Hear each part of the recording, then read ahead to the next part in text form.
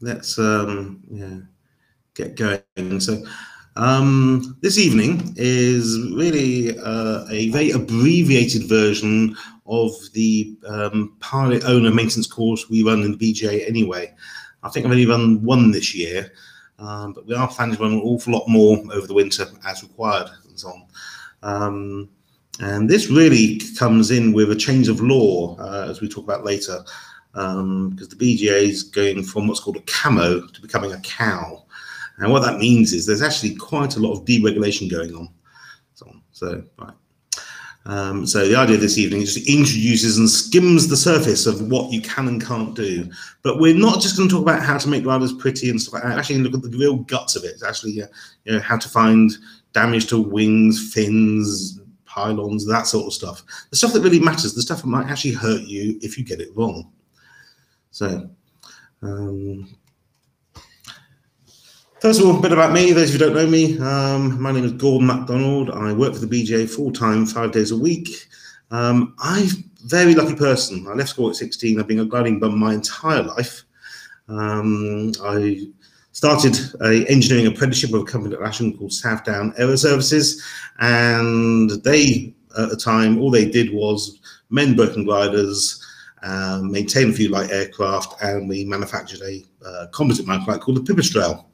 So, and part of that uh, apprenticeship I did with them was spending quite a lot of time in Germany making LS4s and 6s in the 1980s. So if any of you got an LS4 or 6 built back 1986, 87, 88, that sort of area, there's a good chance there's some nice stippling inside it. So um, I then became a sort of permanent gliding instru instructor and uh, repairer. Um, got my commercial pilots on the way, went for regionals. Um, I rebuilt many insurance write-offs. It's a good second income for me.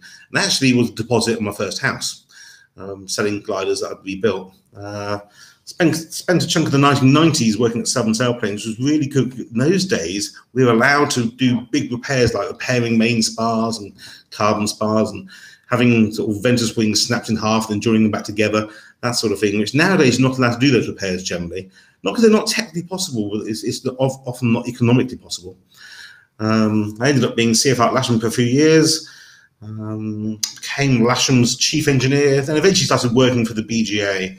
Um, my biggest claim to fame in gliding is I flew from Aboyne down to Lasham once in a Nimbus 3 with a family Darlington, which is still, I think, a UK straight, straight line distance record. Um, that's taken off at 3.50 in the morning.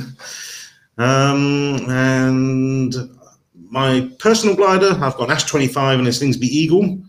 Um, uh, the Eagle was bought as a bit of derelict glider. We've got a Beech Bonanza that was actually bought off a bank after, after it's derelict for three years, a Super Monk, and I've got three written off Standard Cirruses that are going to be for me and the kids one day when I get around to rebuilding them. My kids are only like 7 and 11 at the moment. So. Right. Um, a question from insurers. Please don't let this happen to you. But every two years or so, we destroy a glider um, through quite simply towing it with a sticking wheel brake, or worse, towing the air brakes out. Um, and it does happen uh, all too often.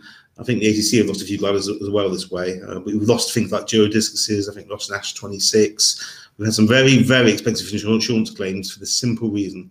So if you ever notice your wheel brake's actually sticking um, and you can't get it to unstick, it's a simple case of um, typically get a, a 7 16 or 11 meter spanner and you unscrew the brake pads, take the power off, and that means it's um, safe to, to across the airfield and get it fixed at some other point.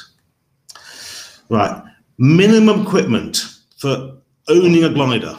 Okay, all gliders doesn't matter if it's a Skylark primary or uh, you know Nimbus Four or Arcus, whatever.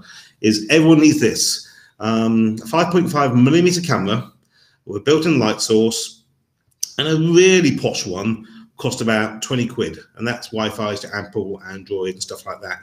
Why 5.5 millimeter camera? First of all, the average drain hole is six millimeters, which means you can poke it into all the nooks and crannies where there's a drain hole in the glider usually, and uh, you can see what's going on. Um, more about cameras later and actually what they do for us. But yes, if you haven't got one, get one. Right. Um, pilot owner maintenance. Now, um, in a moment, uh, Luke's going to put the document up there, but there's a list in the EASA of exactly what we can and cannot do. Um, this list has actually been around for quite some time.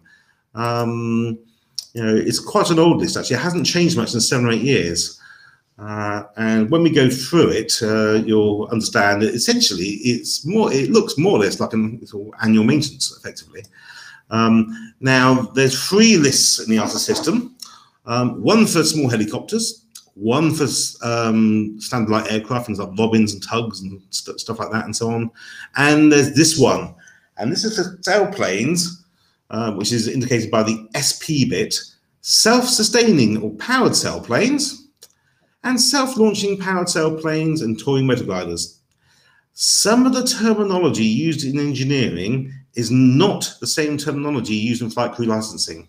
So occasionally you'll have to get your head around that. So so, as a pilot owner, what can you do? Okay. Um, first of all, you're allowed to recalculate the weight of your glider. It does not say weigh. In fact, in, in some other uh, other AMC documents, actually says you can't weigh gliders. Um, so basically, if you fit an instrument panel onto your glider, as you can do as a pilot owner, you're allowed to weigh the old one, weigh the new one, figure out what the difference is, and actually uh, calculate a difference it is actually better if you can reweigh the glider, if you can do that sort of work. So, but you can do that to sailplanes, to self-sustaining sailplanes and TMGs. Um, towing. So you've got, say, a Falk that's used for towing, air towing that is. Um, you can play with the winch retraction mechanisms and stuff like that, lubricate it, and you can fit mirrors. Um, placards. You're allowed to change your own placards. So if your placards are all getting a bit um, crumpled, rubbish, and everything else, uh, you're allowed to make your own new ones, so long as uh, they comply with the maintenance manual or flight manual, well, both in fact. Uh, the other thing is a ASI is a placard. Um, most gliders built since the late 60s, it's a requirement to actually have the ASI placarded as well with VNE, rough air, stuff like that, and so on. Um, and so you must make sure the ASI placards agree with the flight manual. And there's another document called a type specific data sheet as well. Okay. Um, standard practices, uh, safety wiring, non-structural fasteners. Um, you're allowed to check the free play. Why is that? Well, those of you who've ever done much gliding in Germany will understand that in Germany, majority of the annual maintenance on gliders is done on pilot owner maintenance, not by inspectors. And this list essentially was drawn up by the LBA, more or less, and um, it reflects um, how a lot of the, the German system goes about doing the annual maintenance.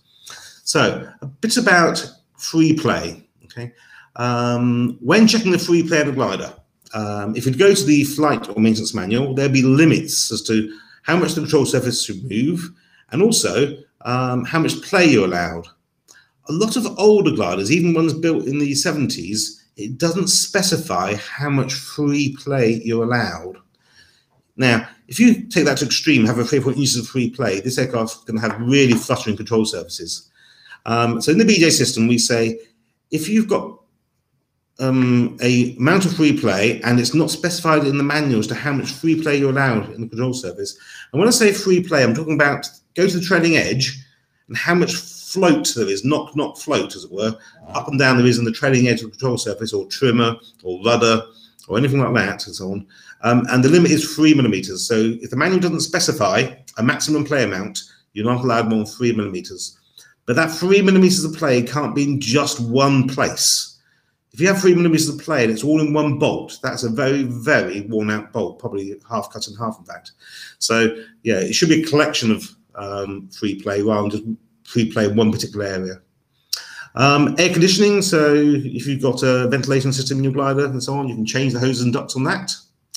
Communication, um, they never called it radios. Uh, communication, you can fit your own communication devices so long as they're plug and play. And um, if you ever talk to NAV boys and so on, they can flog you plugs for um, plug and play radios quite often, I think. Um, and batteries, you can change your own batteries. You can change simple wiring for varios and stuff like that. Um, Technically, you're not allowed to do the soldering for radios, if you know about it. Um, and you can you know repair broken wires for uh, lights and stuff like that in motor gliders. Right, okay. Um, I'm just going to go to the next page now and back to the top. So most gliders have some basic um, bonding for lightning strike and stuff. If that breaks, you'll have to fix it yourself. Switches, you can repair and install switches that are non-required, i.e. not a magneto switch, but definitely a Vario switch or something like that and so on. The rule is all switches must be labeled. So in theory, anybody can get the cockpit and know what that switch does. Fuses, you can change fuses. Safety belts, you can uh, change your safety belts, but they must be EASA safety belts. So, so you can do that. Uh, you can take the seat out and put it back in. Uh, non-essential instruments. Now, what's a non-essential instrument? A non-essential instrument is an instrument that's not on your aircraft's minimum equipment list. So if you look at the aircraft flight manual, in that flight manual, it specifies usually minimum instruments. Now, for a pure cell plane, that would normally be an ASI altimeter, um, and for cloud flying, a compass and turn slip so on. If you're not going to go cloud flying, you can ditch the turn slip and compass. A Vario is not generally deemed to be a minimum instrument. For aerobatics, you need, usually need a accelerometer. Um, for a anything with an engine, um, minimum equipment will include a compass, so which is absolutely required by law if it has an engine. Um, and the other bit of minimum equipment is if you have a water ballast system and it actually works, intend to use it, you must have an outside air temperature gauge of some sort. So, okay. Um, right, wing wipers, uh, you can fit and play with those. Um, you can use different types of static probe just for the Vario system, not for the ASI system. Um, you can uh, install portable oxygen bottles in factory built holders, that sort of thing. Um, if you've got an old Nimbus 2 or Open Cirrus, you can actually repack your own brake parachutes. Um, a good piece of equipment, um, not widely used in the gliding industry, but uh, very popular powered industry, is the emergency location transmitter, um, you know, which goes off and after sort of heavy amount of G and so on. Um, don't do what my one friend of mine had. He had it on the back of a wardrobe, and um, it did fall off. It set it off, and about two days later, got a knock at the door from somebody telling him to turn it off. Um, Fire protection warning systems, um, that's getting more popular on electric sailplanes. I don't think I've seen them appear in jet sailplanes yet, which is a bit surprising. Um, flight controls, you're allowed to fit your own gap seals as long as you don't take the control off. So if your Mylar's all getting a bit tired and knackered as it does after six, seven seasons, that sort of way, it goes a bit brittle and starts not working and becoming inflexible, um, you're actually allowed to change it yourself. The but is um, you can't take the control off. Now, you wouldn't normally need to do that anyway, but when you've got the Mylar off, it's the only time in probably six or seven years you're actually going to have to properly clean, degrease, and lubricate your hinges. So it's really important. You don't just take the Mylar off um, and just put new Mylar on. No, you need to get into the hinges and give them a proper service. Um, clean them out, degrease them, get all the rubbish out of them, um, re-lubricate them, so check them for play and check the hinges themselves. I mean, if you've got things like Air 220, those hinges used to make for pastime. Um, so check them for play as well. You're allowed to play with control systems um, in terms of uh, measuring them. Uh, control cables, uh, simple inspections. And what you're looking for here is um, frayed cables. Now, the cables that fray the most, uh, obviously, rudder cables are roundabouts, the S bends, but that's not usually what breaks first. The cables that break first are normally release cables, um, especially on club two seaters, uh, and also um, and that's around the knobs themselves, where it tends to fatigue where the knob attaches to it. And if you ever have rudder pedal adjustments, again around the T handles, and the ones that break off the most in flight, because nobody ever actually checks them, and they're always too weak anyway, are decompressor handles on turbos. For some reason, they give them really tiny cables that um, fray for pastime. Um, and the most awkward cable to change the world uh, when it goes wrong is probably a discus rudder cable adjustment. Um, you don't want that to um, break because when it does, it's an utter, utter um, fast trying to actually get it changed. You often have to take out the whole instrument panel, uh, even actually take out the pedals in some situations. Um, yeah, some people got the knack and some people haven't. But what could seem like like a 20 minute job could easily be a five, six hour job changing that cable. Um, you're allowed to change uh, the gas dampers in your air brake systems. Um, a number of gliders, mosquitoes, Nimbus 3s, stuff like that, have a gas strut in the air brake system. Um, quite a few modern gliders have gone down a slightly different avenue. Duo Discus XL, rather than having one gas strut in the middle, so that way if the gas strut fails, both flaps come up together. Um, so on, it has independent gas struts. So what tends to happen is the on the Duo Discus XL, as you pull out the air brakes, the last third of the air brake deploys the flap, which goes down to I think 60 or 70 degrees, um, maybe more actually. Um, but the push rod isn't directly connected to the flap. It's actually connected via a gas strut. The idea being if you fly too fast, you're not actually going to break the flaps off. Um, I wouldn't actually test it though. Um, the bad news is if the gas strut fails on a XL, it will fail asymmetrically. In other words, one will stay down and the other one will go up. And you know, you won't know that until you're usually um, opening them, you know, quite often for the last um, third of the travel. So if you're in the habit of getting down to the round out and about two thirds air brake, then going full brake, um, and one of the gas struts has failed, the whole aircraft will want to roll as you're deploying the air brakes. Um, so um, and for whatever reason, some of these gas struts aren't that good quality. They, they tend to, you know, uh, break for pastime. So um, if you're doing annual maintenance on Duo Discus XLs, and um, I think the Arc is the same, but I'm not certain, um, you'll be very, very uh, keen to look at the gas struts and make sure they're in good condition and replace them probably every year or two, I suggest. Right, you can change fuel lines if they're prefabricated and plug and play, which is often mine are nowadays. Um, you can change the fuel filter. You can take the whole instrument panel off as long as it has quick release connectors and all the major bits, i.e. ASIs, radios, stuff like that. So Right. Okay. Okay, pitot static, simple sense leak check. In other words, making sure the um, ASIs don't leak. Um, for SW series, those gliders often have little rubber vibration mounts on them for the instrument panels. Um, you can change those. If you've got a Polish glider, they've got beautiful water drains in them and so on. Quite a few of them have. So you can play with the water drain systems. And any damaged or flexible tubes you can change. Right, you can take the whole wheel out, um, service it, replace the wheel bearings, and lubricate it all. Um, you can change the hydraulic fluid. Now, a word of warning on glider hydraulic fluid. Some gliders use proper aircraft hydraulic fluid, um, maybe like K21 does. Um, the Butler gliders, majority of gliders use aircraft quality brake calipers, the bits on the brake disc that actually clamp and stop you uh, moving but they use motorbike master cylinders. In other words, um, the keep the size down. The in the cockpit, um, they tend to use motorbike parts. Now the problem is the car industry doesn't use the same fluid the aircraft industry does. And so when they're making a glider, they have to decide: Are we going to change all the seals in the master cylinder for the motorbike, or we to change all the seals in the caliper, um, and so on? And in Schleicher's case, they changed all the seals in the motorbike handle the cockpit. And so on that one, you can use proper aircraft type fluids. Whereas Grob, for instance, went the other way. They went and changed all the seals in the caliper. So on. Um, so if you put aircraft fluid in the um, Grob, on, in this Grob 103s, for instance, the chances are in two weeks' time, the cylinders in the caliper will swell up and stop working. Um, so, and that can be a bit frustrating because often you buy these calipers from America. There's, there's, a company called Cleveland to make them, and that's the cheapest place to buy them. Um, but if you don't know it's actually got the wrong seals in it, uh, that's a big issue.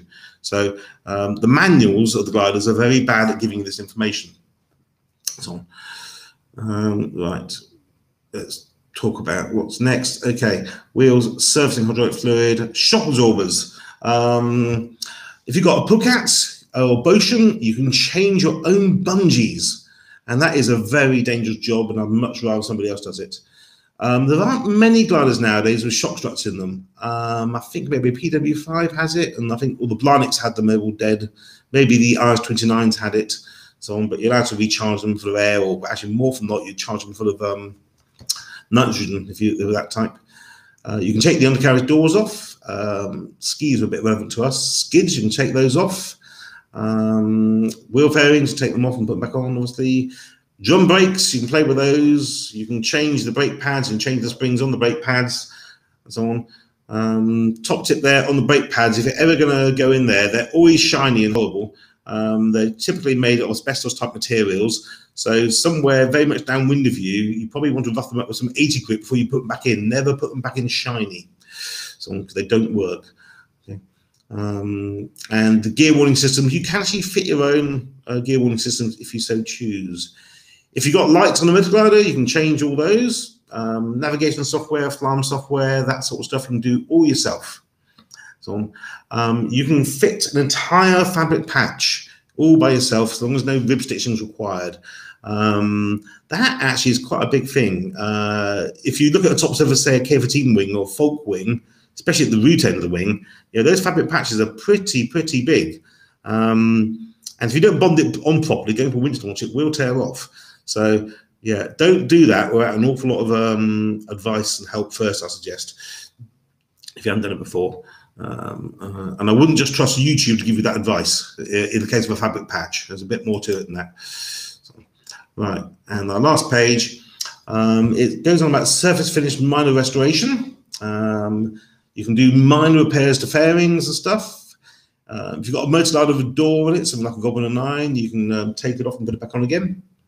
Um, you can play with your upholstery, mount repairs to the upholstery and stuff like that. Um, be aware there are some fire retardation requirements. So, um, windows, so DV panels, windows, you can take those off and place them, play with them, so on. Canopies, you can take it off, put it back on. The canopy gas strut, you can change yourself. Um, that is one of the most neglected pieces of equipment on a lot of gliders in recent years. A lot of case into one gas strut failures simply because a gas strut puts everything under permanent um, tension. Um, and because of the permanent tension, you don't necessarily know play in it. So what you need to do on from LS4s to K 1s to SW20s is when you open the canopy, of it fully open, then push the, the edge, the top edge of the canopy up further and see if there's any play in it. And most of them, even brand new gliders that have done a couple of thousand flights being brand new, have some fairly horrific amounts of play in them. And we've got some photos later in the presentation where you'll see what causes and so on. But yes, please keep the play out of your canopy gas struts. Um, all, all, the um, uh, gubbins you'll find goes in that. We'll show you later. Right. Um, wing skids, you can change those. You can change your own water ballast bags. You can fit your own turbolated seal tapes as per the manufacturer instructions. If you've got a um, motor glider, you can change the spinner of it, spinner on it. Um, and here's a very big one. If you have a self-sustaining glider only, I also say you can take the whole engine out and put it back in again. Now, there's a bit of a health safety culture here. I mean, if you are from an industry that um, you know, makes you mechanically very able and you know, you, you, come from a sort of quality background, so you can check all your nuts and bolts done up and everything else. The big issue of this is, quite simply, if something goes wrong, the propeller falls off or something like that, um, or the engine falls off, it could injure somebody else. So just bear that in mind. Oh, on the subject of spinners, by the way, um, they have to be balanced really well, really well. Um, cowlings, can play with those. Induction systems, you can change the air filters. Um, if the engine, you've got chip detector, um, and I'm not sure if many have in gliding mode at the moment. Um, engine oil filters you can change. Um, you can mix your own two-stroke oil. You can change spark plugs. A lot of people don't understand spark plugs. There's some really good YouTube videos out there um, on aircraft spark plugs, how to actually check a spark plug. And the best thing you can do is actually use a spark plug machine. Um, and they're absolutely brilliant. You, actually, you can physically see the spark and how good a spark is before you put it in the aircraft. Um, if you've got a Rotax or something like that, you can change the coolant. Um, engine controls, you make minor adjustments to non-critical controls. I'm not quite sure what that actually means, really.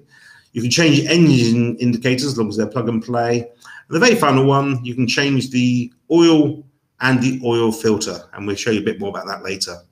So these are all the jobs that EASA say are pilot owner maintenance. So if what you want to do isn't on this list, you quite simply can't do it. So, right, okay. Now, um, next. Here's a very big thing that's just coming in as part of the latest EASA law changes. The BGA's can stop becoming uh, being a CAMO, continuous aviation maintenance organization, probably around about 7th December now. And then we become what's called a combined aviation uh, aviation organization. And with that, uh, we fully adopt a new EASA law called Part M Light. And what that means is, um, rather than having the entire rule book that includes airliners and everything else, uh, the, the rule book has been slimmed down to only aircraft below, below 2,750 kilos. Um, and what that means is we no longer have to obey the same rules an Airbus obeys. The, the rules are actually a bit more proportionate. And for sailplanes only, uh, from probably December, mid December, you will be allowed to do your own annual maintenance and, more importantly, sign the certificate of service for it. So on your SDMPs, you'll be allowed to do your own servicing and take full responsibility for it. So on. And that's coming in probably about December, mid-December. We'll be updating our paperwork um, to reflect that and uh, so on. There are some rules there, though. You can't have the ARC done on the same day. So you can do the annual, but not the ARC. Um, and there's other rules, like you can't do the error directives.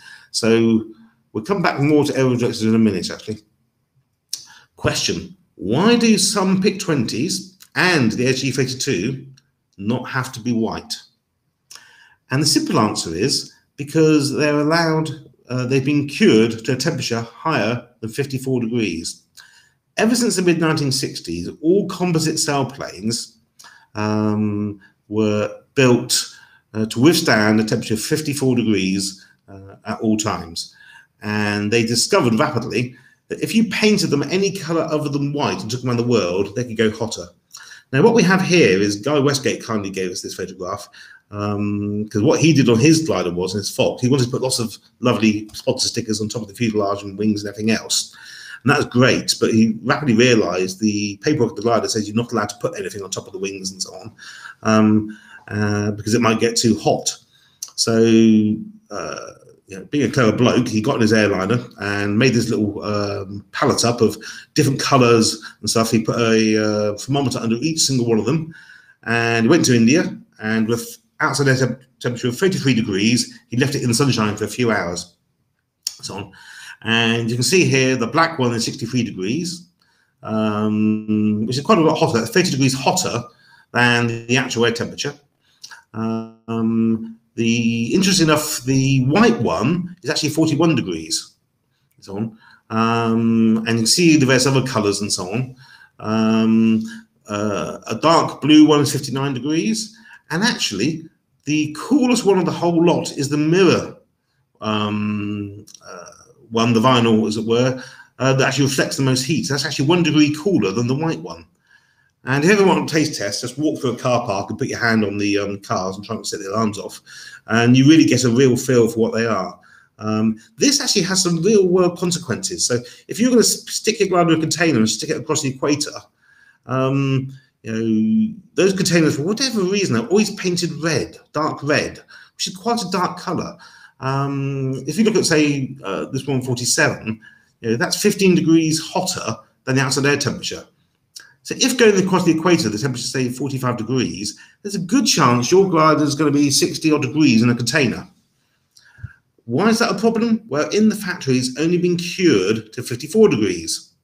So when it goes to 60 degrees, for a short while, it's all going to go floppy and flexible. When it cools down, if it has changed shape, it will be a different shape. It will set in the new shape. And that's why gliders have to be white uh, and so on. Um, and that's why we don't paint trailers black. Um, because if you paint a trailer black, the glider is going to get baked permanently, um, and uh, you'll be taking the temperatures up way higher than designed to go. So a couple of gliders recently have had their back ends, I believe, cooked to 80 degrees in case there's an issue with the jet engines. But I believe the, the efflux is um, not a big issue on those nowadays.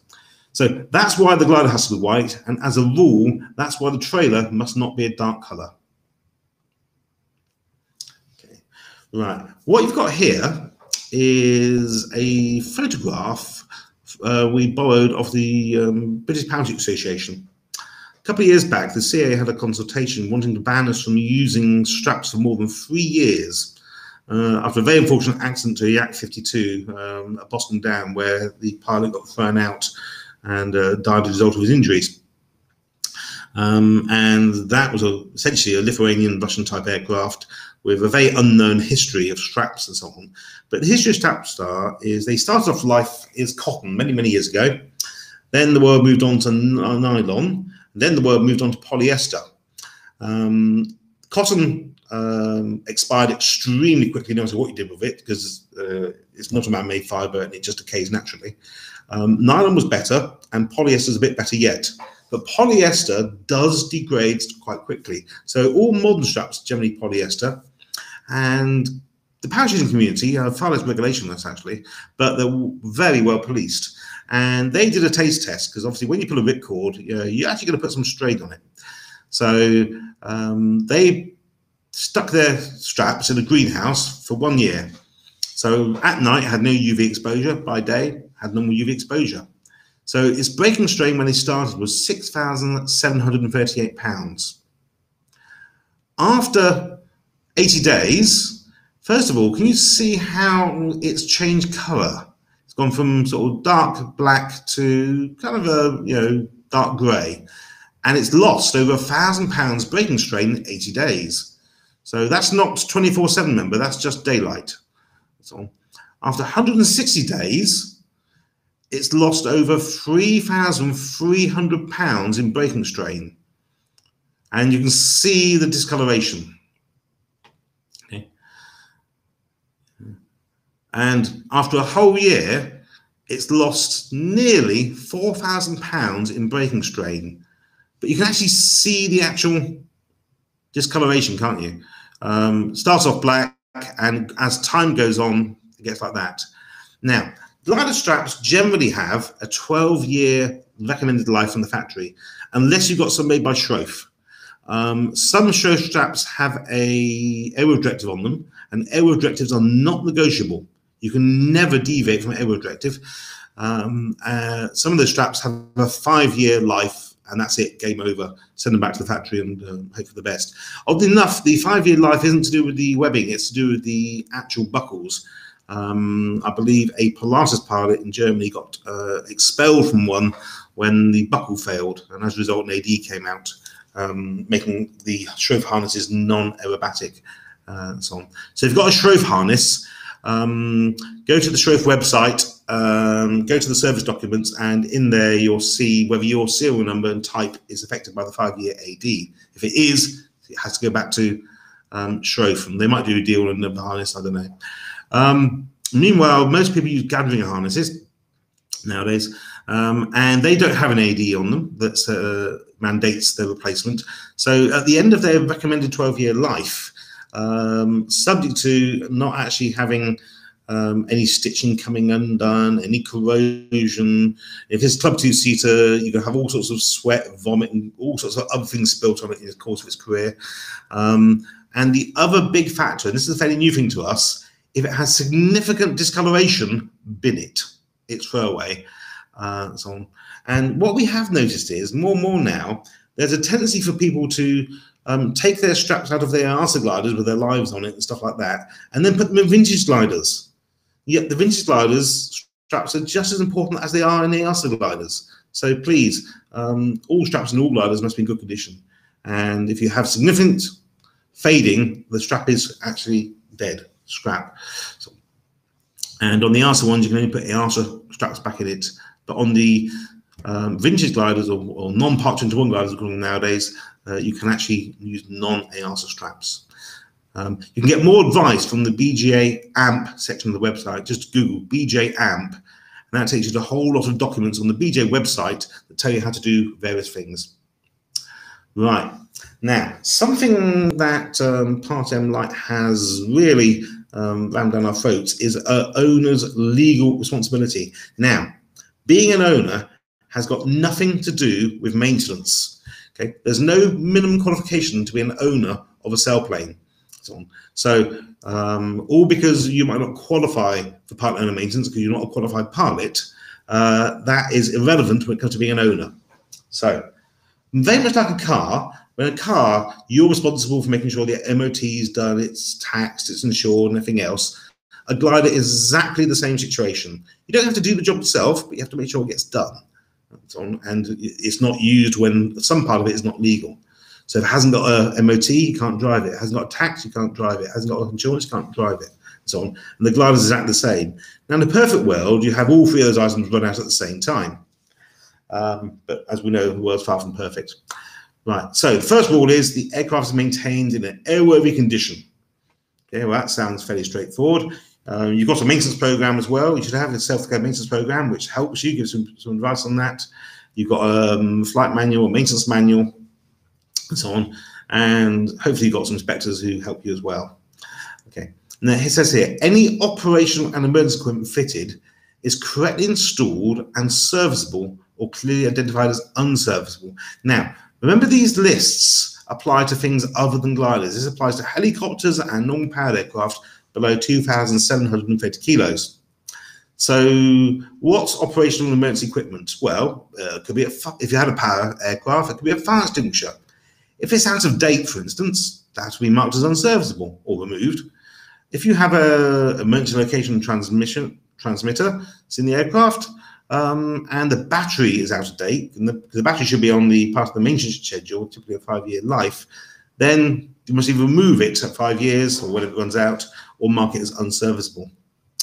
And it says here the airworthiness certificate is valid.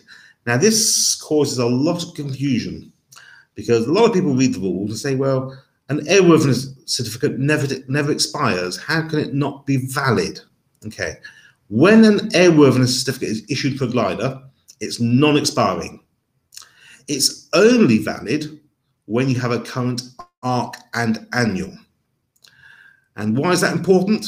Because if you crash and don't have current ARC and annual, that was not a legal flight. And you know the CA might forgive you for these transgressions, but I doubt it. But the insurance companies most definitely will not forgive you, um, and uh, that's quite a big issue nowadays. So um, there's been a lot of confusion amongst owners when this new system came in about 10 years ago. Um, a lot of them couldn't understand the difference between ARC and an annual. They would literally go to an inspector and say, "Can I have a new ARC, please?" And they get a new ARC but the annual expires in two weeks' time, and that's not being renewed. So they fly for a whole year with an ARC, but no annual. Um, so owners have to know the difference between what an ARC and an annual is, and make sure they do not fly unless they're both current. Because if you do that, if you fly with one of them not current, then your airworthiness certificate is not valid, even though even though it's non-expiring. And the maintenance program has to be performed in accordance with the aircraft maintenance program specified in EASA's rules. And the BGA's STMP 267 you probably all use um, is the EASA what's called MIP, which is Minimum Inspection Program. And just like a car MOT, uh, where you take it to MOT station and you tick all those boxes on it and everything else, or they tick all the boxes on it, that's exactly what the MIP is. It's the minimum inspection program that any uh, glider can have in the system. So uh, we've not embellished it in terms of um, what to do. Uh, we've put some advice in there, so but that's the minimum inspection program. And the good news is the BGA were heavily involved in this system when it was being debated in the EASA a few years ago. And of all 27 countries, um, chose the BGA's then maintenance program, the 267 it's called, as the minimum inspection program. So it wasn't a big job for us to change that. But quite a few other countries have an awful lot more paperwork to fill out. So, right. Now, pilot owner competence and responsibility. So if you can do your own maintenance, um, that means, first of all, you can't delegate it. Um, you can't say, oh, yeah, I know how to change a wheel. I'll, I'll, I'll do it on my mate's glider. Okay, you might do it on your mate's glider, but you're not going to be the one taking any responsibility for it. Um, you can only do the work and sign for the work on a glider you actually own. So, um, now, for club gliders, this is a bit more of an issue because at Lasham, for instance, we have 800 members and we wouldn't trust most of them to go anywhere near our gliders or change your tire and stuff like that and so on. Um, so the way that that's worked is the maintenance is managed by a maintenance manager, which is typically the club technical officer, but not always. But there should be a maintenance manager in charge of that aircraft, especially a club glider, and they decide who is competent to work on it if they're not already a BJ inspector. That's all. So there might be people, for instance, you trust to, to fix a puncture and change a tire, and there might not be. So, and that's up to the maintenance manager to, to decide that. So, uh, but the law says, and this is straight out of the law, before carrying out any pilot owner maintenance tasks, the pilot owner must satisfy him or herself. Actually, was very sexist on that one. They always say himself, anyway. Um, must satisfy him or herself that he or she is a competent to do the task. It is the responsibility of a pilot owner to familiarize themselves with the standard maintenance practices for the aircraft with the aircraft maintenance program. Um, and what that means is essentially don't just guess. If you've never changed a tire in your whole life on anything, um, I'll question your competence to change a tire this time around. For instance, would you know how to take the hydraulic caliper off and get it right first time round? Would you make sure you get the brake torque stud back in the right place so when you apply the wheel brake, it doesn't rip the wheel out? So, um, if you've never had any experience of this in the in the real world, um, you need some to get some advice first. Um, I'm yet to find a YouTube video that actually tells you how to change a glider tire, but I could be wrong. If the pilot owner is not competent for the task to be carried out, the task cannot be released by the pilot owner. So that's pretty black and white. In other words, if you're confident you know how to do it, you're allowed to do it. If it's in that previous list of tasks you're allowed to do. If you're thinking, ooh, I'm not so sure, then don't give it a go. Get some advice, get a BJ inspector to hopefully oversee you doing it yourself. And next time around, you can actually have a go at it yourself. Okay, now they also list what you can do. They also have um, a set of rules here about what you can't do. So um, they're saying you can't do any maintenance task if it's a critical task. So, for instance, they won't let you take an aileron off and put it back on again. Yeah. That requires duplicate inspections. Um, it requires the removal of any major components, you know, like say an engine, unless it's a, a turbo and so on. Um, you're not allowed to do airworthiness directives unless the airworthiness directive says it's uh, specifically allowed to, to, be done by the pilot and so on. Um, or a limitation item. A limitation item is something like I say a 3,000 hour check. That's where the, the, an item has a life subject to inspection or overhaul. So if say you've got an SW20 it's your 3,000 hour check, you are not allowed to sign that sign for that on pilot owner maintenance. That has to be done by a proper BJ inspector um, and an airworthiness directive. So if you've got a standard Cirrus, say, and it has Hotellier couplings on it, um, then Hotellier coupling uh, has a airworthiness directive on it that says every year you check how round the balls are to make sure they haven't worn out and they're still spherical. So, uh, and that's an airworthiness directive, and you have to use a calibrated vernier to do that. It says you can't uh, do work that requires calibrated or special tools, uh, basically the same as item three. Um, requires use of test equipment uh, like NDTs. So if you had, say, like a Kestrel, um, a Slingsby Kestrel that is, uh, hasn't been modified with the Glasflügel system um, sold by Streifeneder. Um, every year, Kestrels have a requirement to do a dye penetration test on the rudder drive at the back. Because um, I know from experience, as a very young inspector, when the rudder falls off, it's not good news. Um, and Interesting enough, if you have a uh, Slingsby rudder drive, Streifeneder in Germany will happily make you up a Imperial one for your glider for price. So uh, you're not allowed to do anything, any work if it's composed of unscheduled inspections. So if you do a heavy landing and thinking, oh, have I broken it or not? By all means, have a look at it yourself, but you can't sign the glider off as serviceable afterwards because that's not a scheduled inspection. A scheduled inspection is annual maintenance. If it's a powered aircraft, um, 50 hour checks, um, stuff like that, and so on. So on. Um, some gliders have 100 hour checks on bits and pieces as well, especially anything Polish. so on. Um, uh, if it's a powered aircraft and uh, you fly IFR, so I've got Beech Bonanza that can fly IFR. There's not a lot I'm allowed to do to that aircraft um, in terms of the instrumentation. I can't touch it at all. And there's a various list, uh, if you want to get to the rules, the number eight and nine, of what you can and can't do.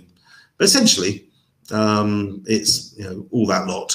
Um, so you can't take off any major components, and you can only do schedule checks, and you can't do error directives or what's called limitation items, items having to be replaced because they've run out of life.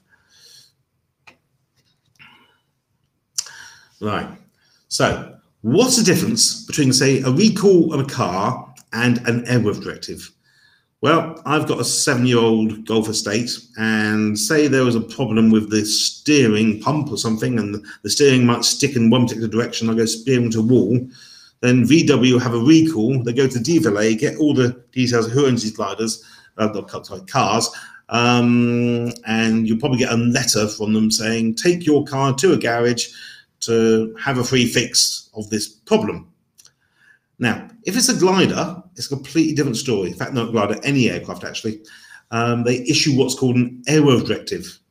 And there's a few different types of airworthiness directives. There's the emergency airworthiness directive that grounds an aircraft immediately. Right, do it now, don't fly again. Um, it's a bit like the 737 Maxes had on them. Um, or there's more normal airworthiness directive where in the directive it tells you how long you have to comply with it. So, for instance, at the moment, um, there, if you own early um, Nimbus 2, Janus A, the all-flying version of the, Mini Nimbus or Standard Cirruses, uh, right now there's a proposed airworthiness directive coming out on that one, and that will probably say when it comes out that you have 90 days to comply with it when it comes out, and that's making sure um, that you put markings on the tailplane to make sure you know when the uh, tailplane is locked onto the glider. So, and the problem with aero directors are is you pay for them, nobody else. And in quite a few cases, people bought brand new gliders, and three or four months later, aero director comes out. That's not covered by the warranties in most cases. So just bear that in mind. If an aero director comes out, it's down to you. And these can be quite expensive, um, but nonetheless, they're usually very important. Uh, things like having to change a pylon and propeller and stuff like that can easily cost thousands of pounds. Um, but when you look at the photos later on and you understand uh, how they come to be, you know, aero directives are normally you know, very relevant and need to be done. Uh, what I strongly recommend you do is, and we'll try and show in a minute, is uh, sign up for the EASA website um, as well, and that way they can email you aero directives for your type of glider um, very clearly. Um, Luke, can you take us to the Schleicher website? And what I'm going to do now is whenever you're doing annual maintenance uh, of a glider, um, uh, there's a requirement to check aero directives. And there's two places for that. The EASA website I'll show in a minute. And the other one is the Schleicher website itself. So in this case, we go to Schleicher Aircraft in English. And we look at, say, K21. So that's some aircraft types from that. So we then scroll down to, say, the K21 because the, on these websites you don't just have aero directives. So we then scroll down a bit, and then Luke, if you can zoom in, please. And in this case, um, did you know two weeks ago they issued a technical note on the K one? This is not an aero directive. It's what's called a product improvement. Um, and the way it works, an aero directive quite simply points you towards a technical note on a usually a glider website, and that tells you the working instruction of what to do. Um, technical notes can also, in fact, more often than not, are product improvements. So in this case, two weeks ago, Schleicher has issued a technical note on the one um, telling you that their old brake hoses that have a six-year life um, you know, can be replaced with a new type of brake hose made of Teflon that has no life.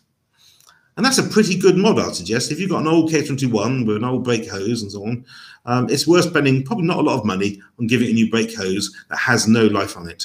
Um, so, so, that's just a typical example. So every annual ARC um, and periodically, I suggest you go to your sort of manufacturer's website of the glider um, and log in and just check to see if there's anything coming out. Because quite often something does come out. You think, why is that not an airworthiness directive? You know, will that propeller fall off? And, you know, is that not important?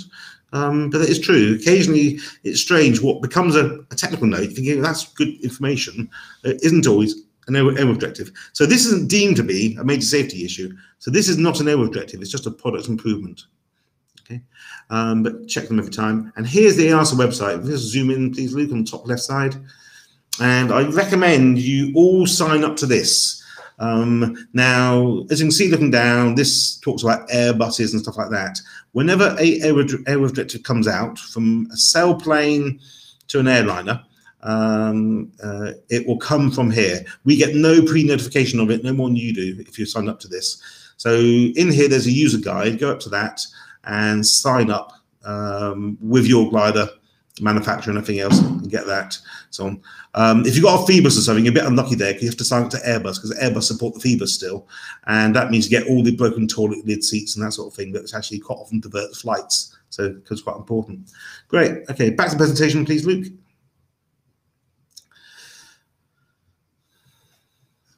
Okay. And Schempp-Hirth have a pretty good system um, uh, because what they have is actually uh,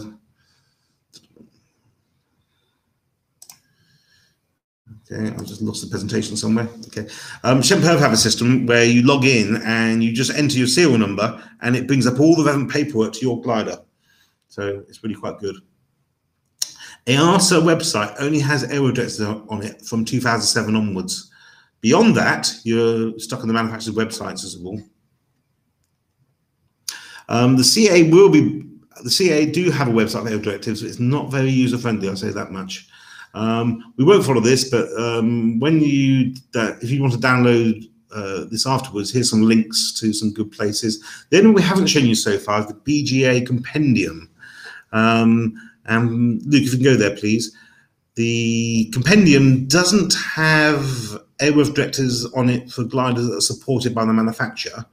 Um, but what it does do, it has the operational history of gliders. And of course, what problems have we found on these gliders? And in the compendium, we, we have just about every glider in the BJ system and all the known defects we've ever had.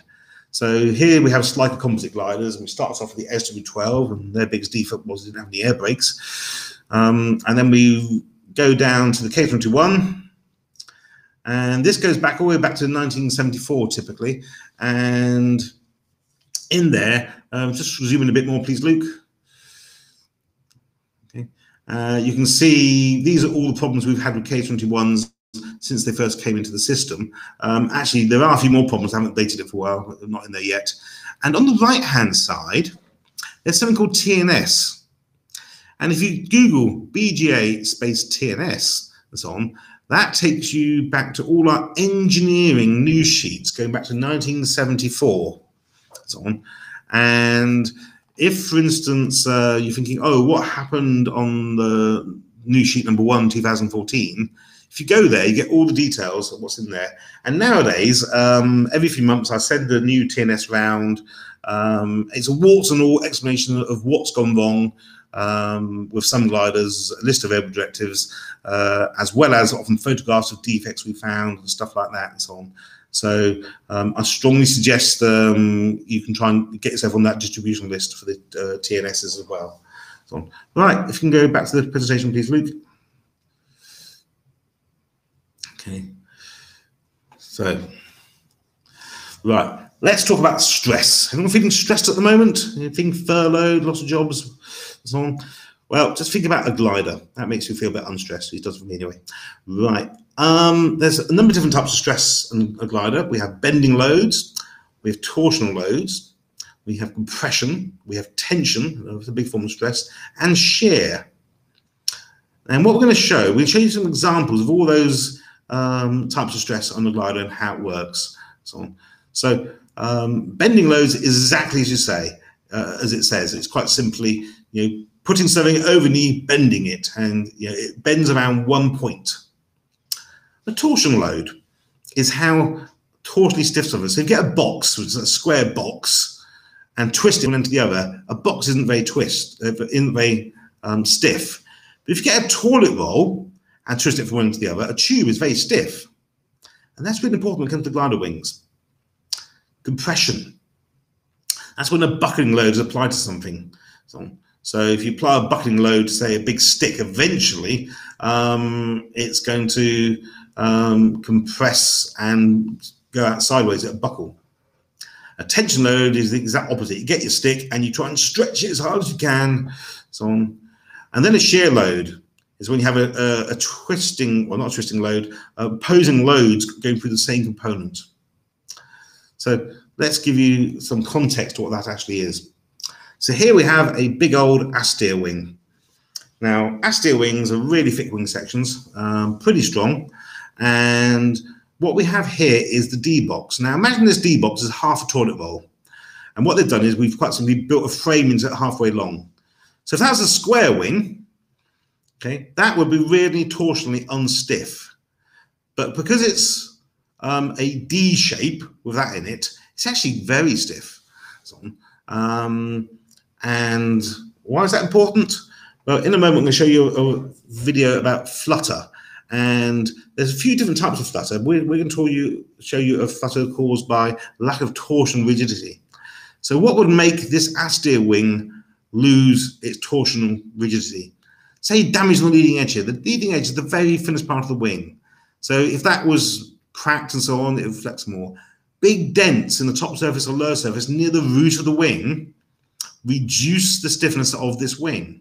Whereas a dent in the wingtip is less important because there's not much left wing left to take the stress. So, so yeah. Right. What you can see next is a Flutter video uh, made by NASA. Um, and this is actually a Piper uh, Twin Comanche. I used to do some instrument manuals in these.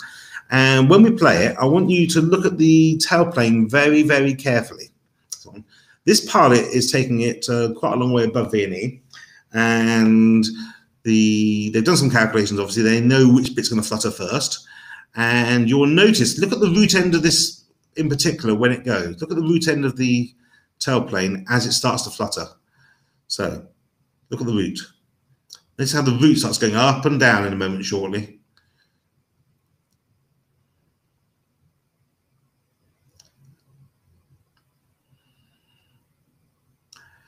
So that's lack of torsional rigidity so causing that. So any damage to D box can cause that sort of flutter. So, right, Luke, um, I, I think I can go on myself. Great. Okay. Okay. Now, here's another flutter video. Um, this is control, caused by uh, lack of control mass balance. So slightly different mode. Um, and this glider, for those of you interested in history, the SB9, built about 1969 by German Akaflieg. Um, and in those days, they were just starting off with glass fiber, really, really trying to figure out how it all worked. And okay, this is the wing going up and down. And what they've done is they've taken all the control mass balance off, so the controls are, are very trailing edge heavy and they're only doing this at 90 kilometers an hour. It's not fast. For like 50 knots, that sort of area. And this is what it does to the glider. This is a 90, no 20 meter glider um, called SB9, and that's happening in real time. And that's caused by not enough mass balance on the ailerons. The stick is going left and right, left and right in the cockpit, and this is how the fin is going left and right, left and right, and so on. You really can see some you know good torsional stress stress is going down here. That's one of the reasons why the fuselage is round. Back to the toilet, toilet roll theory again. If it's round, it's more torsionally rigid, so you get less less um, flexing. Okay, so this is it slowed down by a factor of three and a half. So look at those ailerons being driven up and down by the lack of mass balance and the all he has to do to stop this is actually probably grab hold of the stick and hold it as tight as he possibly can and fly probably a bit slower. So if you had a control surface that had too much weight on the trailing edge, this is the potential that can happen. Okay. And what we do now is we, we they, they, they then fly faster again. Okay. And th this is quite scary, this video. So, and they're doing this at 140 kilometers an hour, which is what about 72, 73 knots. Okay. And when you see the video, notice how they're, not exactly doing it in open countryside either. You know, they were very, very confident this glider wouldn't fall to bits. In most gliders, if you had this ha- happen, you would have instant hinge hinges breaking off, um, plus probably wings failing, tailplanes failing, all sorts of things can go wrong with this. Okay, and there it is, real in real time.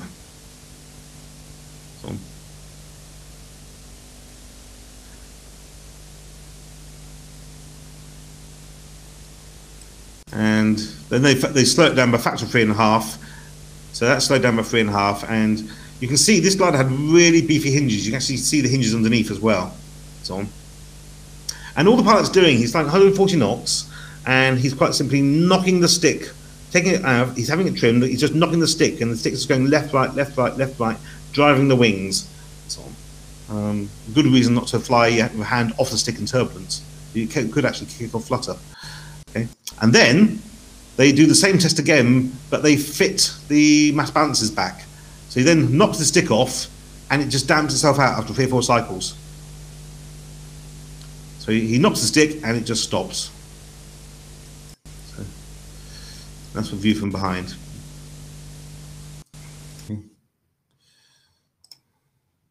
Okay. So that's why um, in your maintenance manual, uh, you'll notice if you go down through that, you'll see a big section on mass balance of control surfaces, rudder, elevators, flaps, stuff like that, and so on.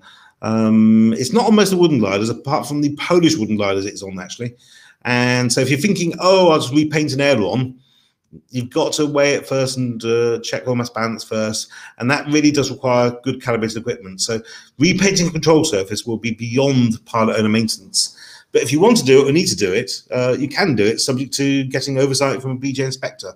So, um, but there's a lot of uh, factors to do other than just repainting the control surface. So here we have a ASW20 spar web. Now, what I like about this, it actually shows the spar caps and so on. Um, now, back in the 90s, we did lots and lots of spar repairs to various gliders and so on, including ASW20s actually. And the first thing that always surprised me was the top spar cap was always thicker than the lower spar cap. But why is that?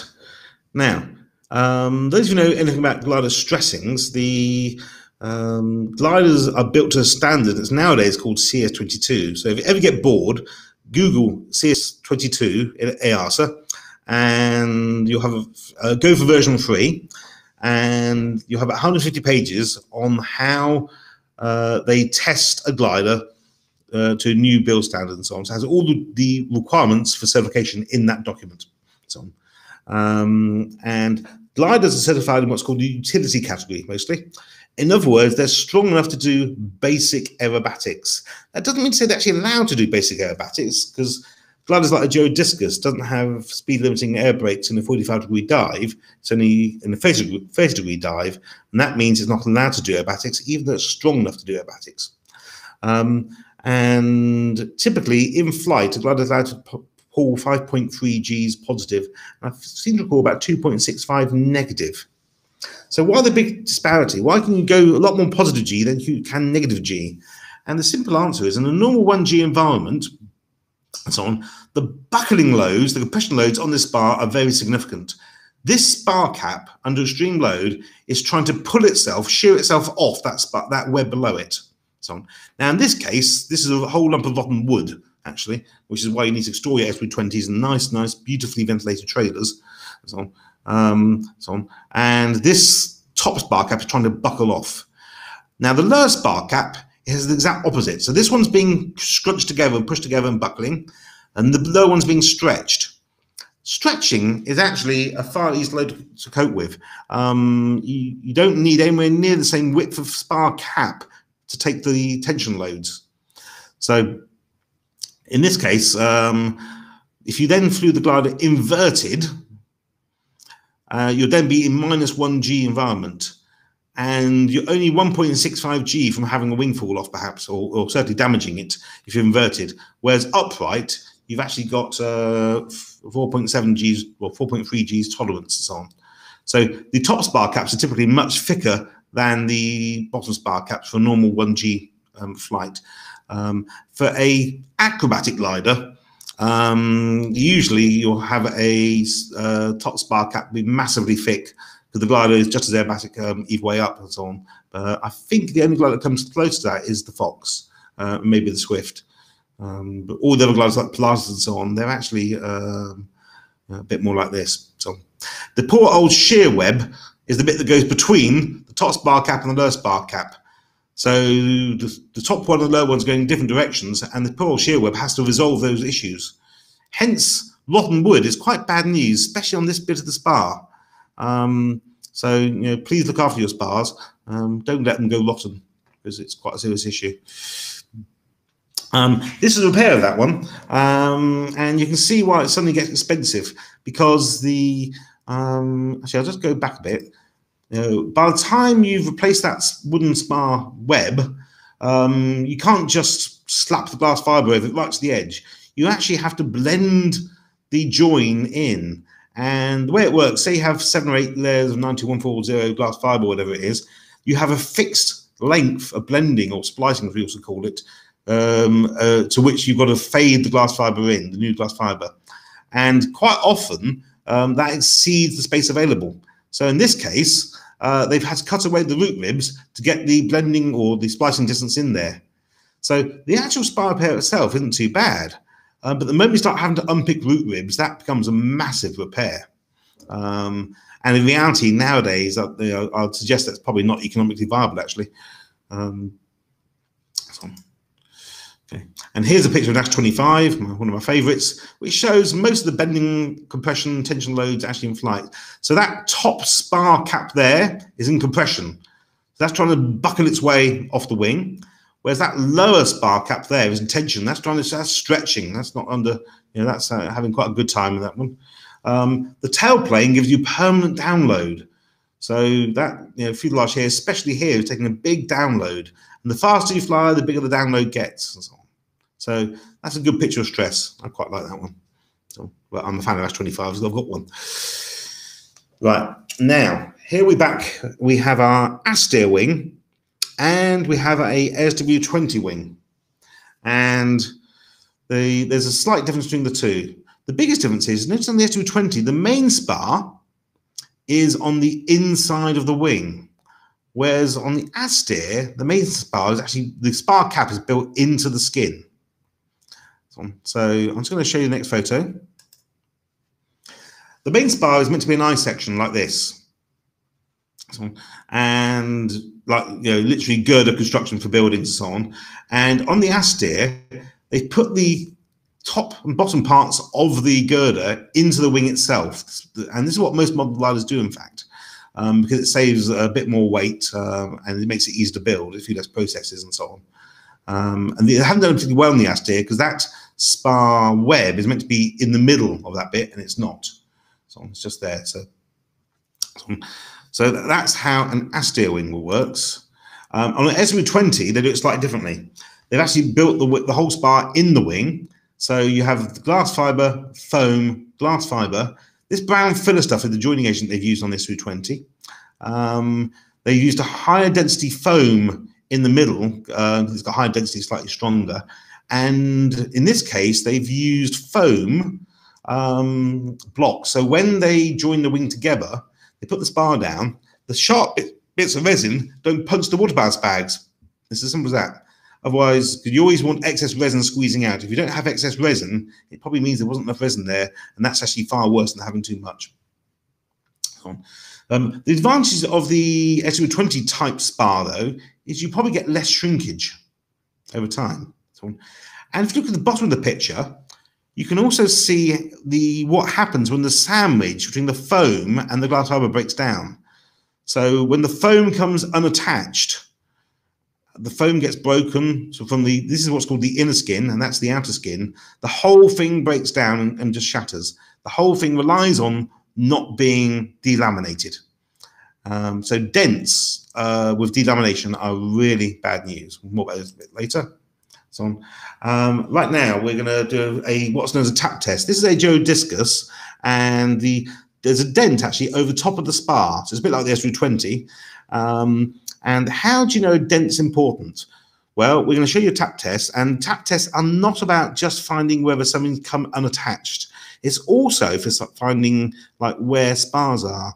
Um, we had a chap a couple of years ago who accidentally drilled a hole through a PIK 20 spar when he was drilling holes in it to take out the rusty controls, um, you know, which is a common thing, unfortunately, a lot of gliders, not just PIK 20s. Uh, and he measured it up perfectly, cut a hole for one wing, got access to controls, then transferred the same measurements onto the other wing, forgetting that the spars are staggered, and accidentally nicked the spar whilst cutting a hole in it. Um, and if you become an experienced glider repairer, you rapidly learn that drawings of gliders and what actually happens in real life are not the same thing. So before you ever cut a hole in something, you always do a tap test to make sure you're not going to cut a hole through a rib or a spar or something like that. Um, but this particular test shows you where the main spar is on a glider, and it also shows you um, how we test a dent to see if the dent is delaminated. In other words, has the foam become unattached, and that part of the glider is no longer part of the sandwich. So, um, so right. here we have, here we have a, a Duo Discus wing, and simply its annual inspection, and the inspectors notice there's a dent. Um, on the wing, on top surface, right above the main spar. So what he's now going to do is um, do a tap test to hear if it's delaminated and also where the main spar is relative to the dent. So Richard, if you go ahead and tap please. Turn your volume up by the way.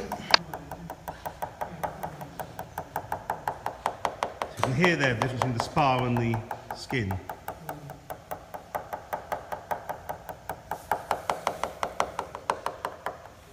So that's the where the back face of the spar is. Marking with a pencil.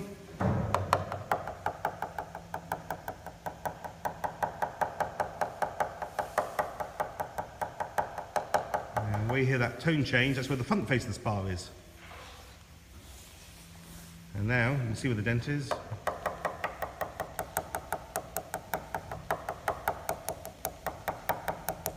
And if you hear that tone change, that's the middle of the dent. And you hear a big change there. And that's where the outer skin of the wing skin is no longer attached to the foam inner. The only way to repair that is to remove the skin and replace it. Right. Hopefully you um, got the volume high enough and you could hear the tone change. Um, in that photo, I won't bother now, um, the important thing is if you ever have a dent in your wing, um, it a tap test. And if it's delaminated in the middle, that means it's broken. Um, what's the tolerance for broken parts? Well, if it's at the D box, in the D box, and it's anywhere near the root end, there is no tolerance if it's delaminated. If it's right at the outer foot of the wingtip, it's probably less of an issue. Um, what causes dents? Bad trestles.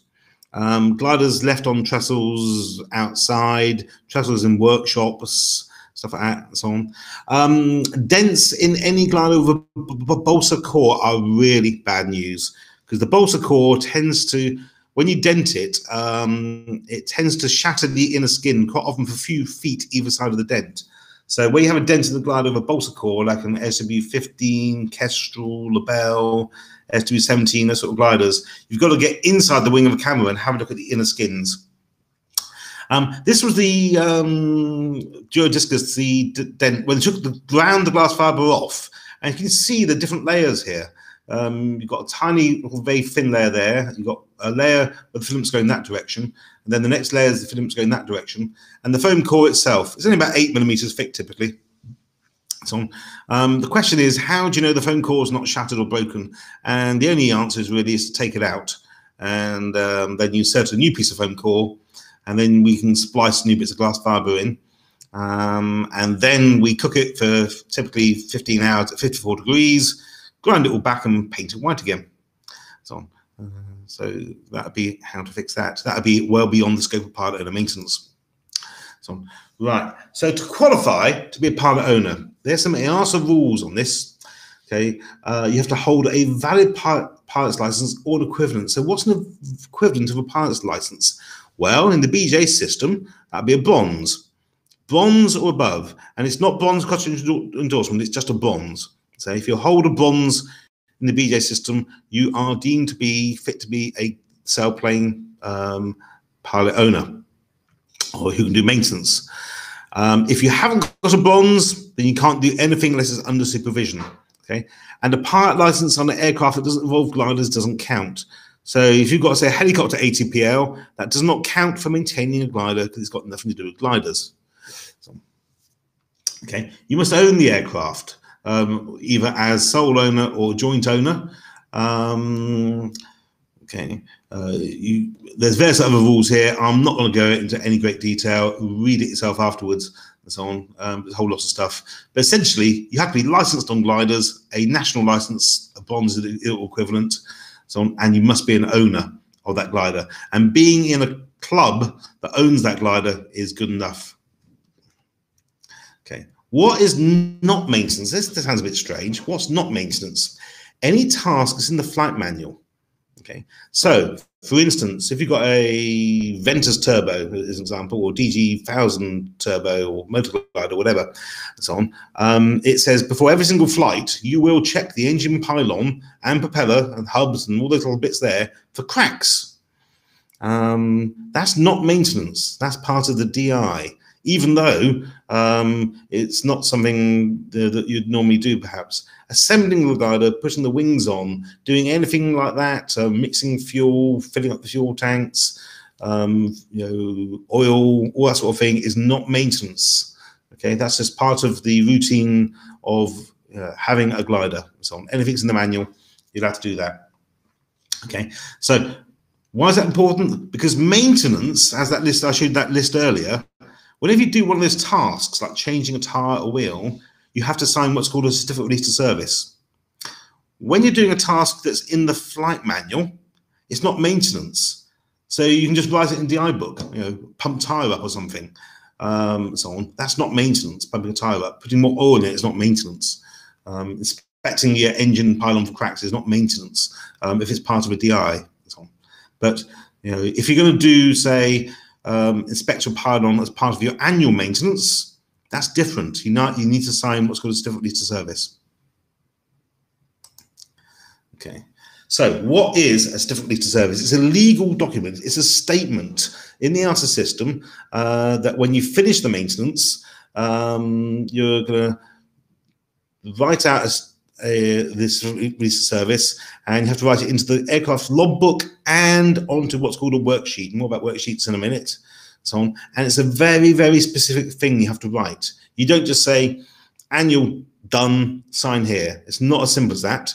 You have to state what you've done, like annual accomplished, see worksheets and so on, and then you have to state what rules are you obeying whilst doing that annual um, so on. So uh, if you ever look at the BGA worksheet at the bottom, we have the latest versions of wording from EASA each time we do that.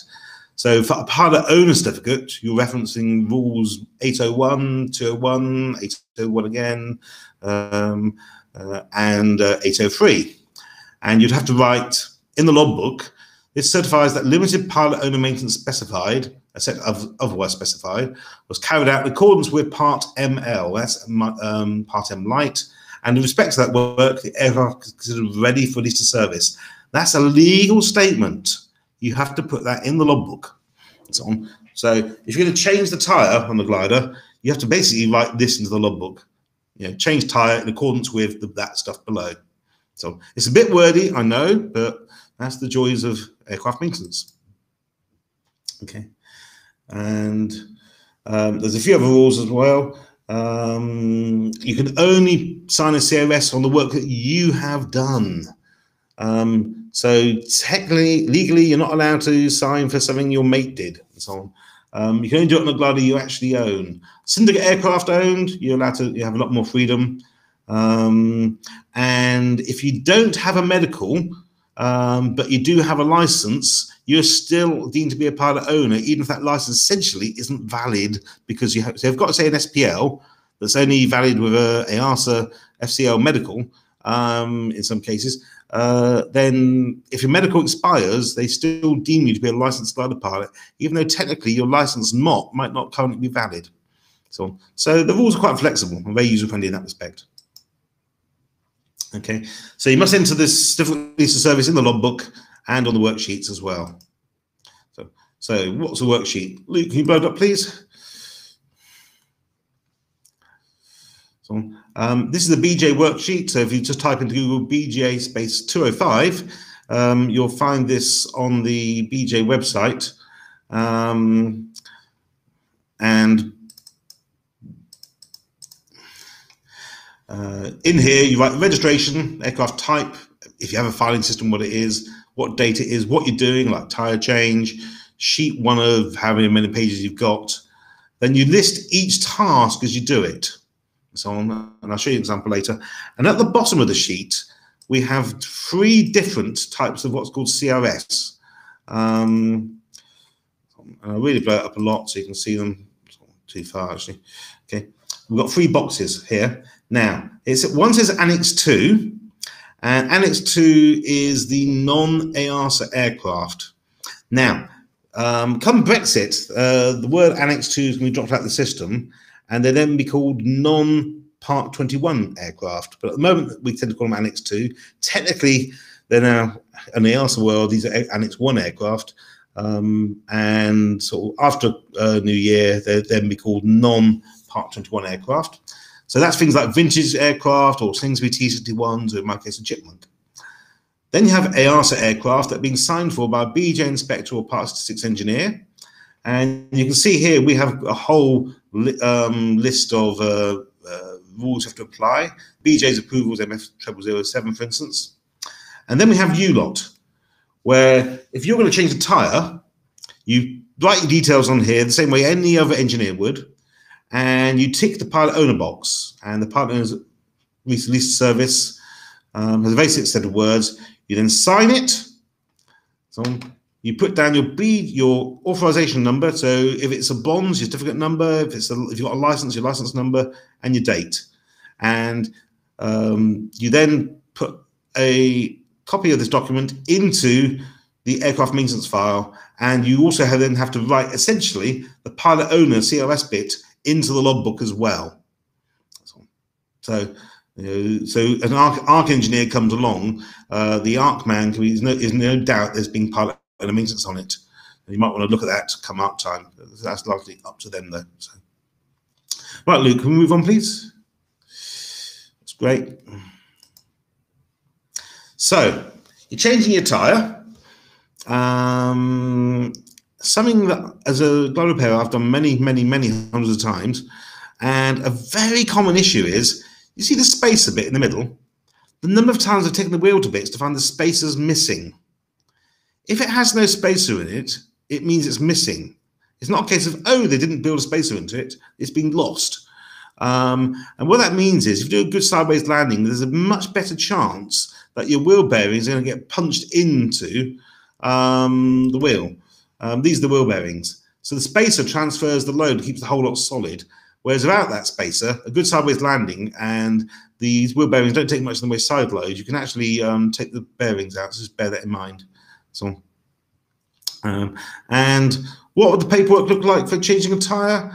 Well, when you buy a tire, um, and the best company usually we use is a company called Watts Tires.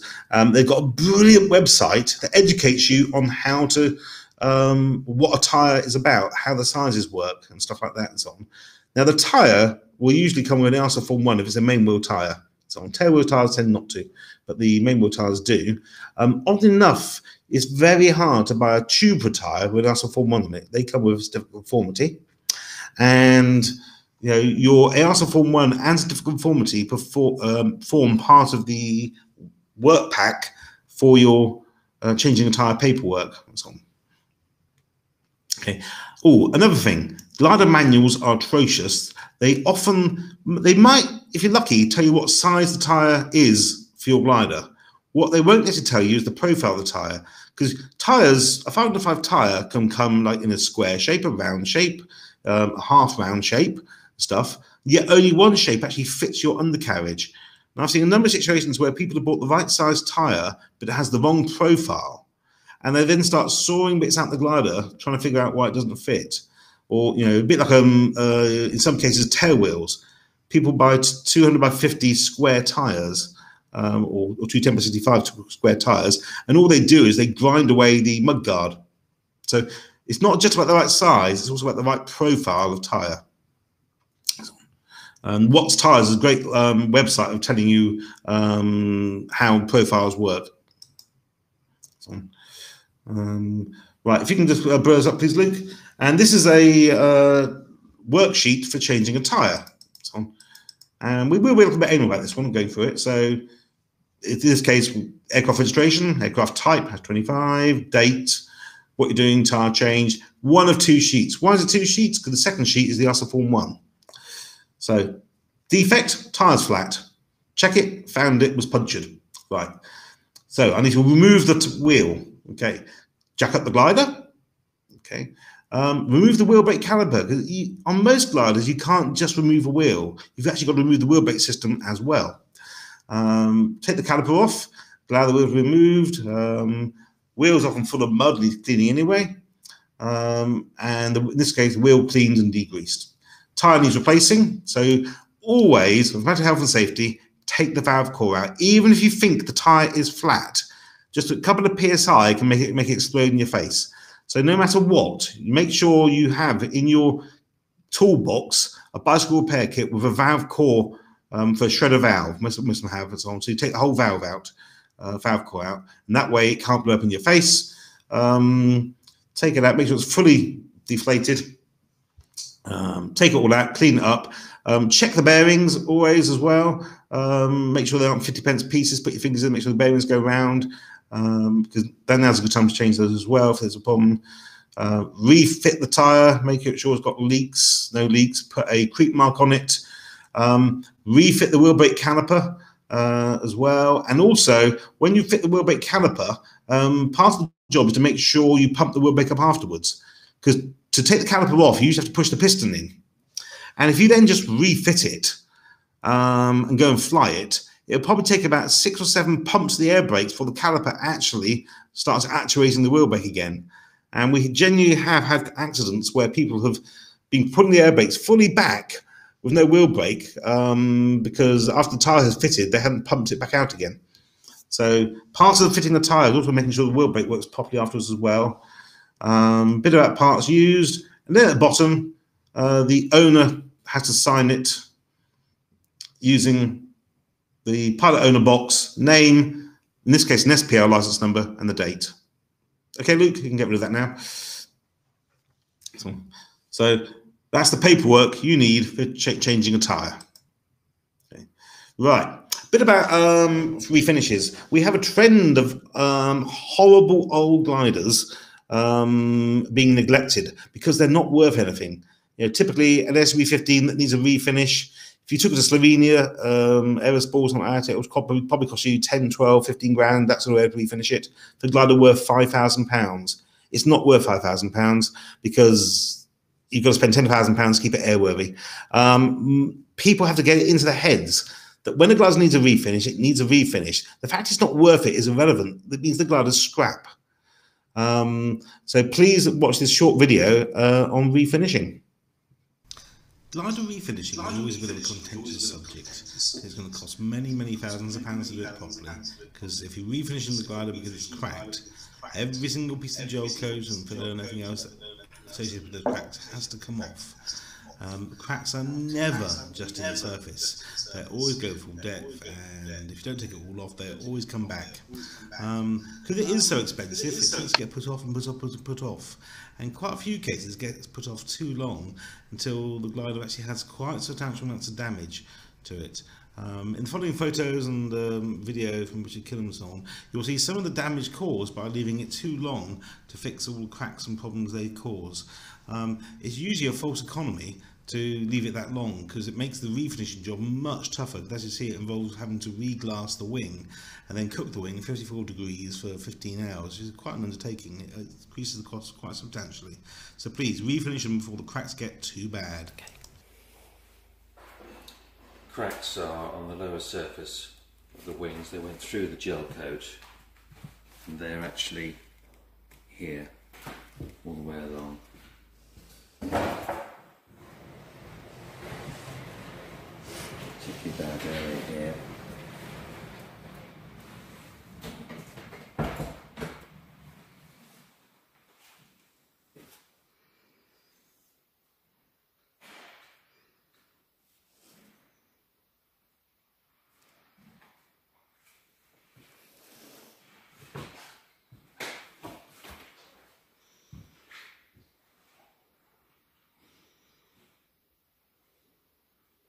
main area to be addressed is on the, this is the lower surface of the starboard wing. And the cracking goes from the root out to the aileron inboard rib.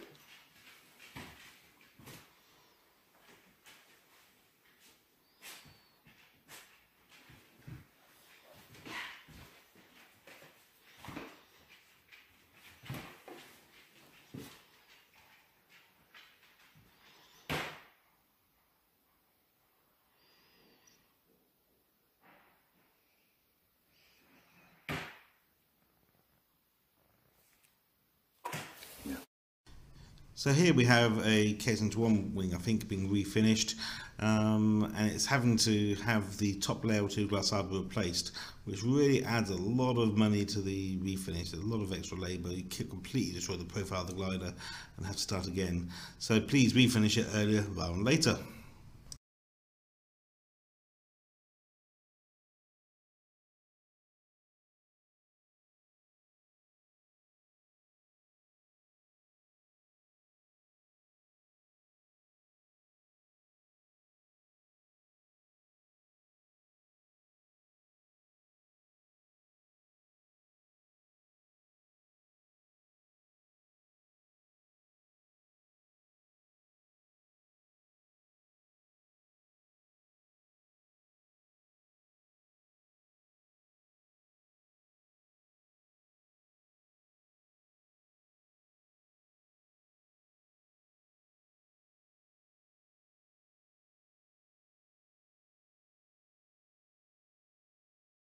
Okay.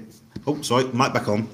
Um, so here we have a Libelle, um, and the pilot uh, was Mike Fox. He owned it, and when he went to VNE, he found that his Libelle, you're just a little bit more than other Libelles. Um, and on investigating it, eventually found it to be broken. And then what he did, we brought it down to Lasham and we went through the thing with a fine tooth comb, basically trying to make an idiot's guide on how to find damage on the bells. But in reality, the lessons are relevant to any glider. Um, Luke, if you can please play the video.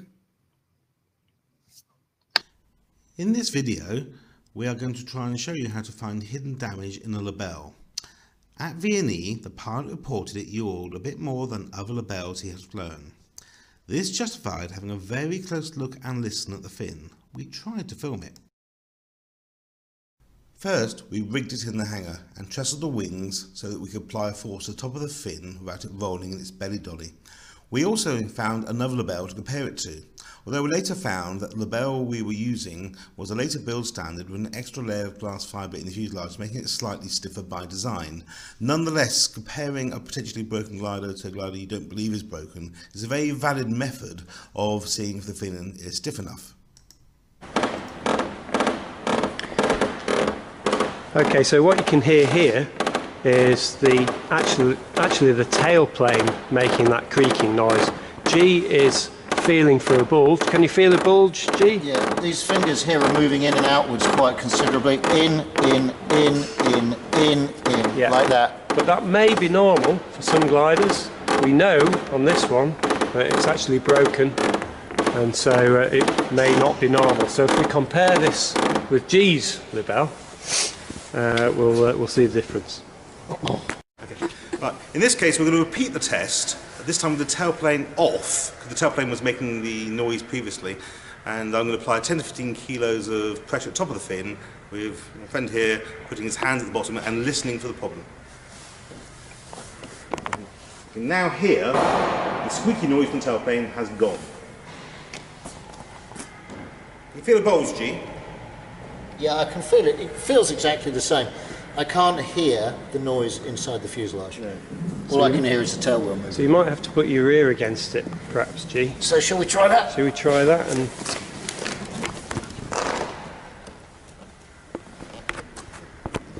so G's got his ear against the side. Can you hear anything, G? Yes. Right. Yeah, I can hear it creaking. So we've got this we've got this microphone against the side here. Let's see if we can record the, uh, the creaking.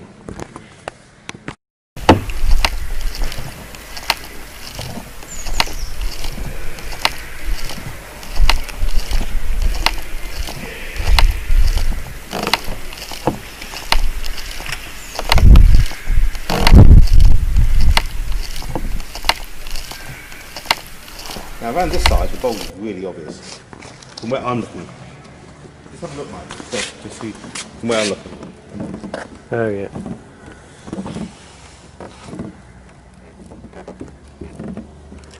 So Gordon's, um, Putting about 10 to 15 kilos of pressure on the fin. yeah, and as we can see, um, G can very, very easily feel the bulge in his hands. And visually, it's not so easy to see, but you can probably just see his thumbs bulging in and out, where the fuselage is just a bit too flexible. Certainly justifies a closer internal inspection. And I've put my hands around like that. You can see the thumbs, the ball of my thumb moving in and out relative to the top line of the fuselage. However, of course, you can't see anything on the outside of the, the fin if G just took, took his hands no off there. cracks. No cracks. Might be difficult to see on the video. There's no evidence on the outside at all, except the flexing of the tail.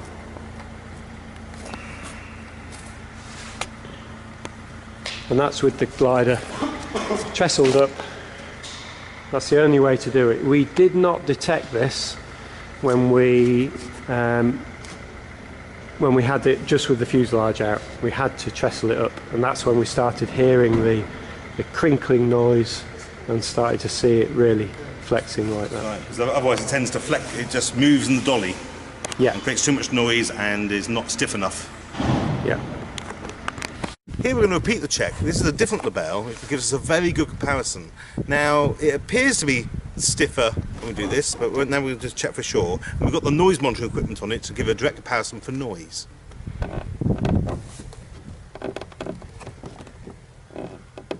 So it is And what you can hear there is, Sorry. I think you can hear the tail wheel axle moving side to side, Yeah, that's what it is. which distorts what the noise signature is going to be. And as far as feeling the movement of the fuselage, to be honest, it pretty much feels the same. It doesn't feel substantially better than the other glider, but it's a bit stiffer, isn't it? It is just a little bit stiffer, there's significantly less movement.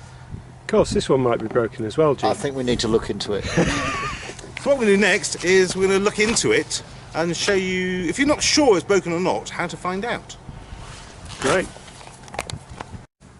So what we found was that the tail wheel was making so much noise we couldn't hear what was going on in there so we put it on a stand which happened to be the the, uh, the Libelle tailplane fitting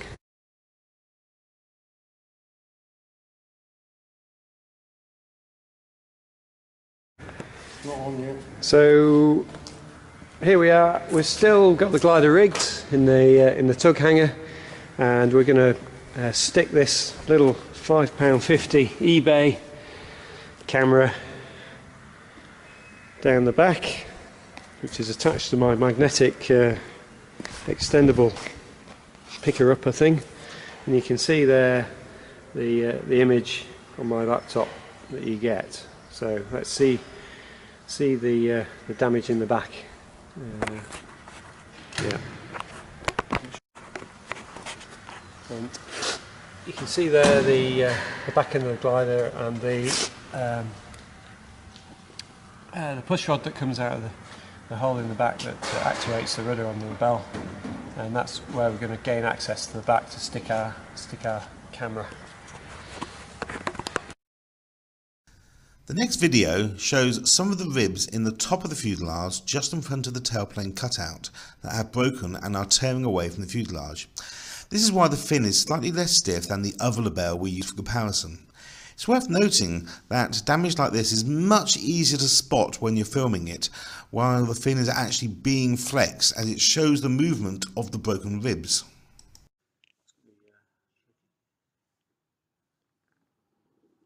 Give it a flex, Pete.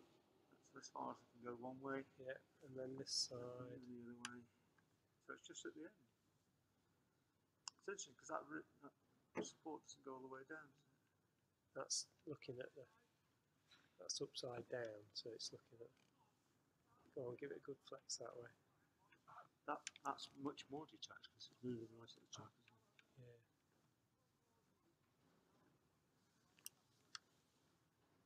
Yeah. Right. Okay. Having established the glider was broken, the job of the Spectre is now done. The next part of the job is actually get the repair sorted out and get it to an expert in composites who understands how to do this. Um, in this case, because I'm actually a very experienced uh, sailplane composite repairer, for the sake of the education, we performed a tap test and then we made sure we can cut access holes for repairs between the ribs without affecting the rudder cables, the elevator push rod, the radio coaxial, fuselage flange joints from when it was originally built, and anything else that might get in the way. We just wanted an access hole big enough to perform repairs. In cutting the access hole, we don't want to actually create more damage that requires more repairs. Where to cut the hole can be determined by looking at the glider build drawings, uh, in this case, an internal camera is very useful, and the use of tap tests just to ensure, no matter what the drawings say, the ribs are not going to be cut when we cut this hole. But to be completely clear, this is experts only. Do not have a go at this without an absolute composite expert uh, watching over you doing this. This is not generally um, for pilot owner maintenance. Right already. Ready? Go on then. Hang around here,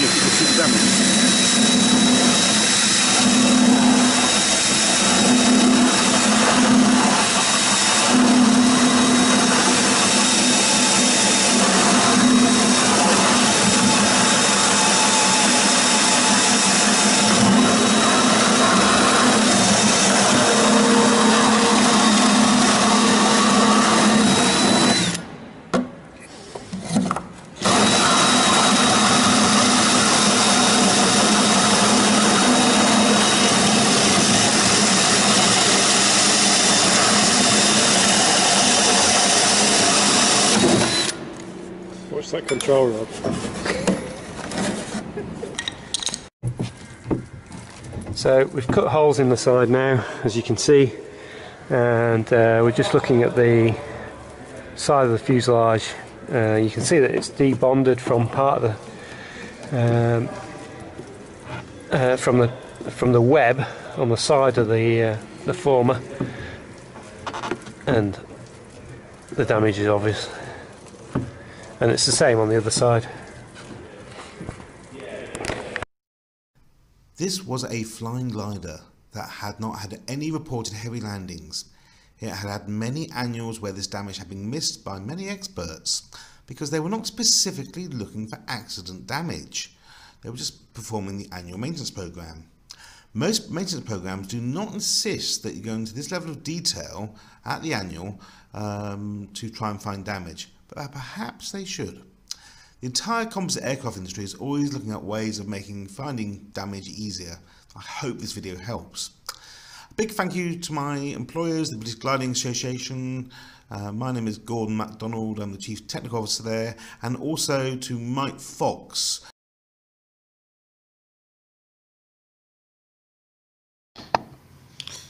Good stuff.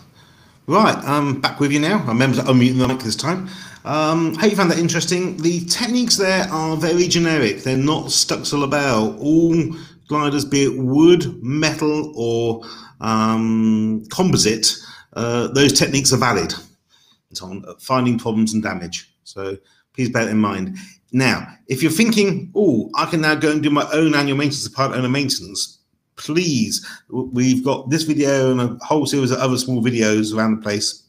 Um, you need to uh, look at them and in reality get the right equipment. And unlike somebody being paid by the hour to do it you can spend many many hours inspecting all the nooks and crannies that wouldn't normally get to.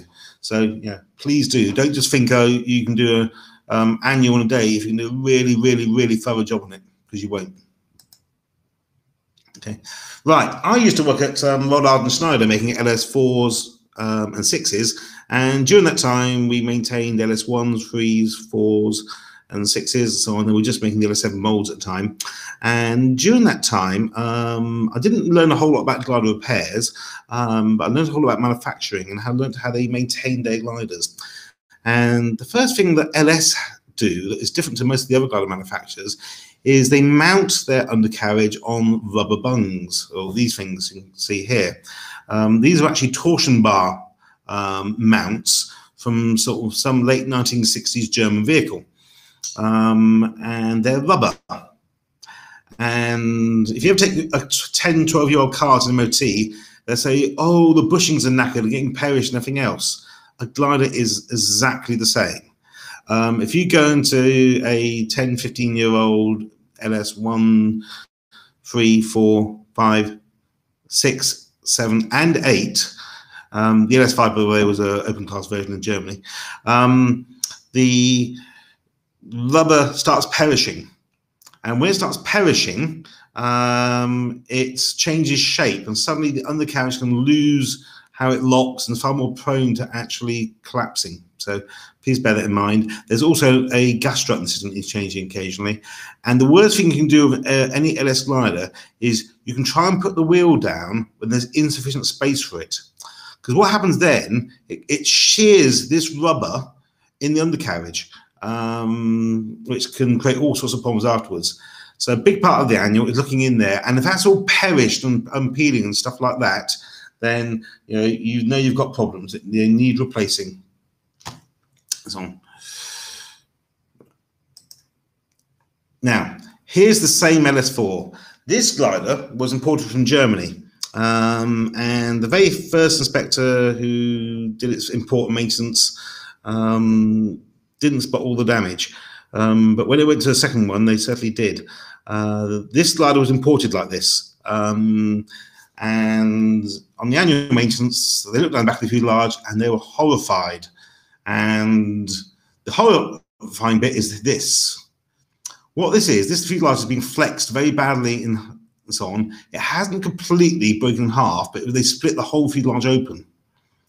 And what normally happens in these situations um, is you'd probably make a mold and you'd replace that half of the fuselage. Um, or maybe you'd cut that half of the fuselage out and you make what's called a backing member, put that in there, and you replace that half of the fuselage. In this case, they've left all the breaks and splits and broken bits of glass fiber in the fuselage, and they've put some glass over it and put lots of filler on it. Hence, you notice how the, this part of the fuselage here is actually translucent. That part is dark, and that's because it's smothered in filler, hiding all the damage. So on.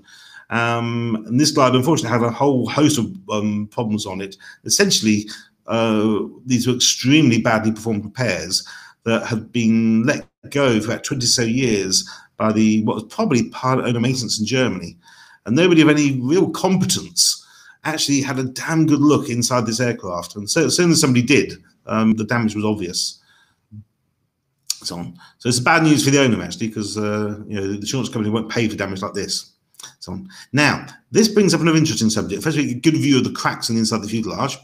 Um, there's a number of gliders. If you do a heavy landing or ground loop in them, um, LS4s and 6s, Open Cirruses, Ventus Bs, uh, Ventus A's, that matter, um, they have a history of the uh, control guides in the fuselage breaking on. Now, you know, this can happen to any glider. Actually, I've seen it happen on Libelles, on mosquitoes as well before now, and so on. And if you look at here on the left-hand side where the light bits are, these are these are control guides. These brackets here can in a ground loop as the fuselage flexes, they can come unbonded from the side of the fuselage or just snap.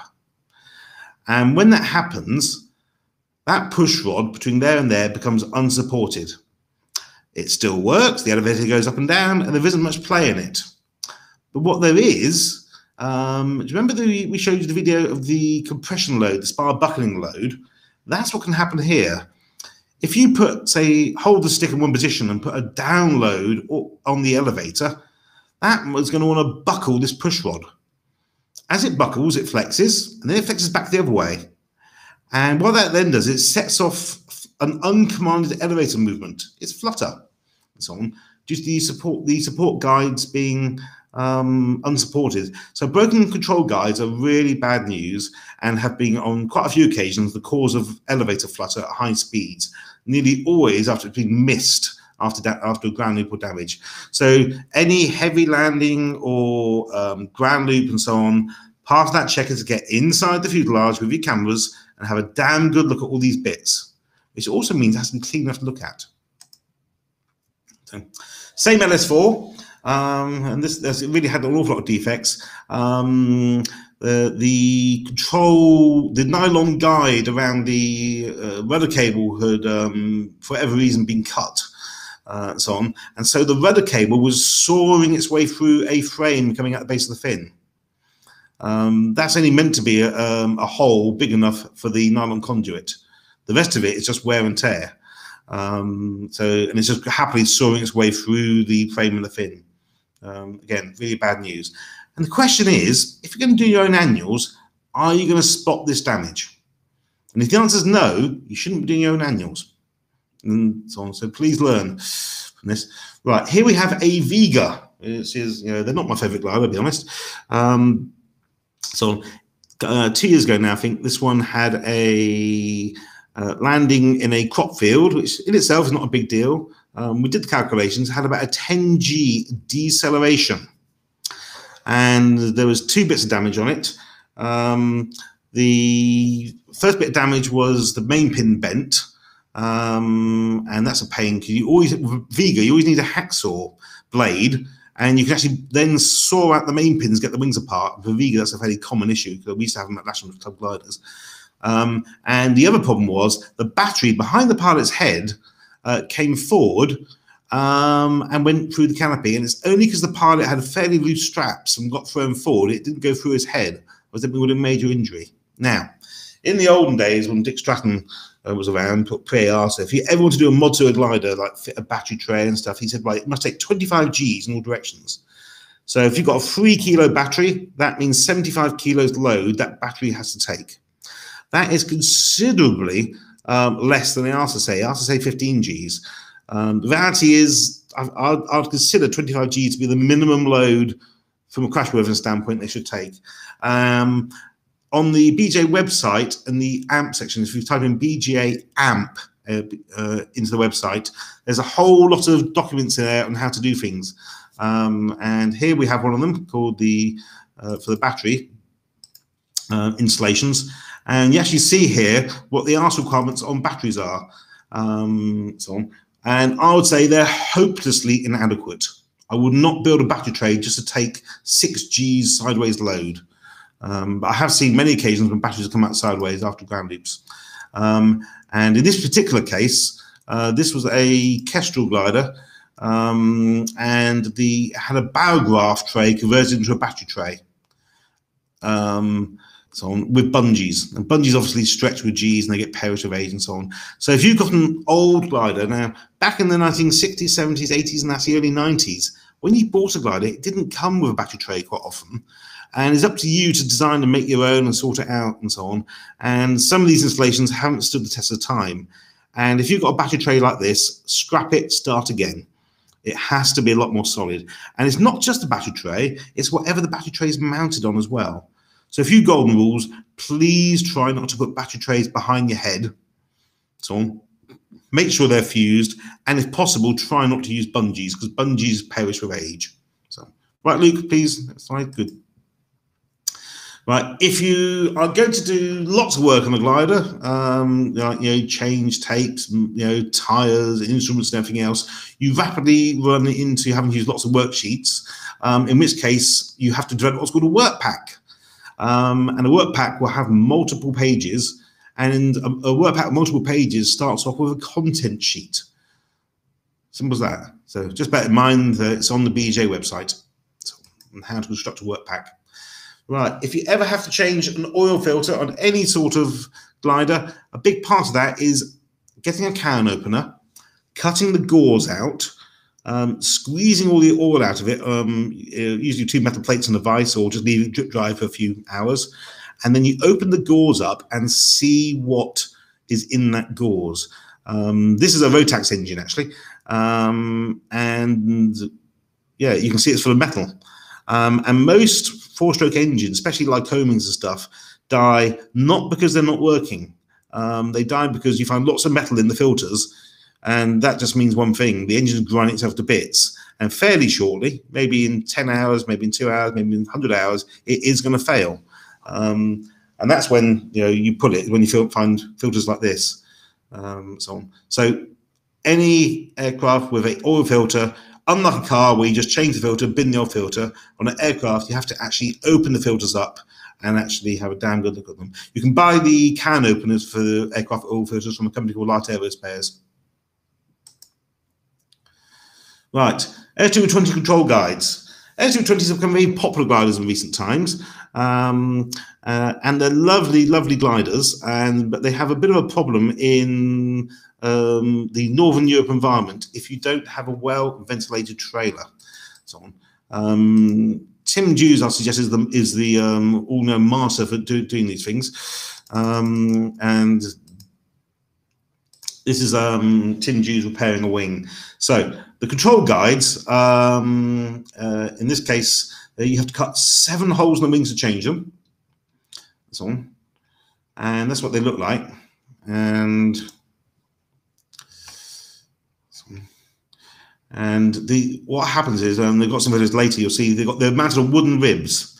And if you have an unventilated trailer, um, the whole lot goes rusty. The rivets start falling off so on the control and the bearings seize on the roller bearings and it starts grinding nice big holes into the guide. So here you have the wooden rib and Tim has had to cut the guides and you can see uh, there's lots of holes down the wing. Um, that's a that's a huge amount of work in terms of man hours. Um, and on ASW20s, uh, this gets found at two points. It usually gets found by somebody doing a pre-buy inspection on it, um, or when a 3000 hour check happens, or the owner complains it's getting very squeaky and so on.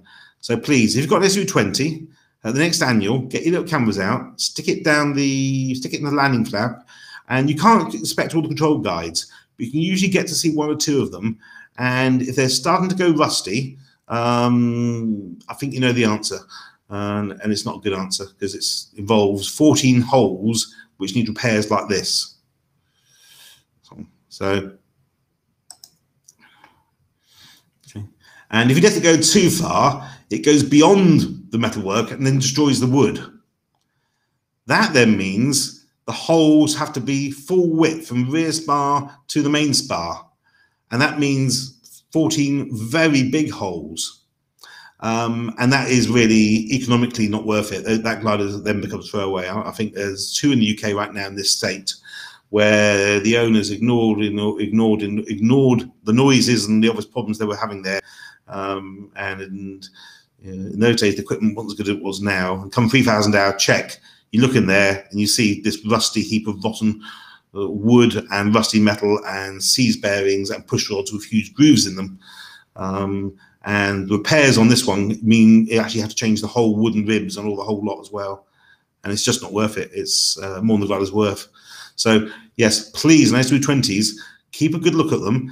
Um, and you must have ventilated trailers. You mustn't, you know, keep them in sealed trailers.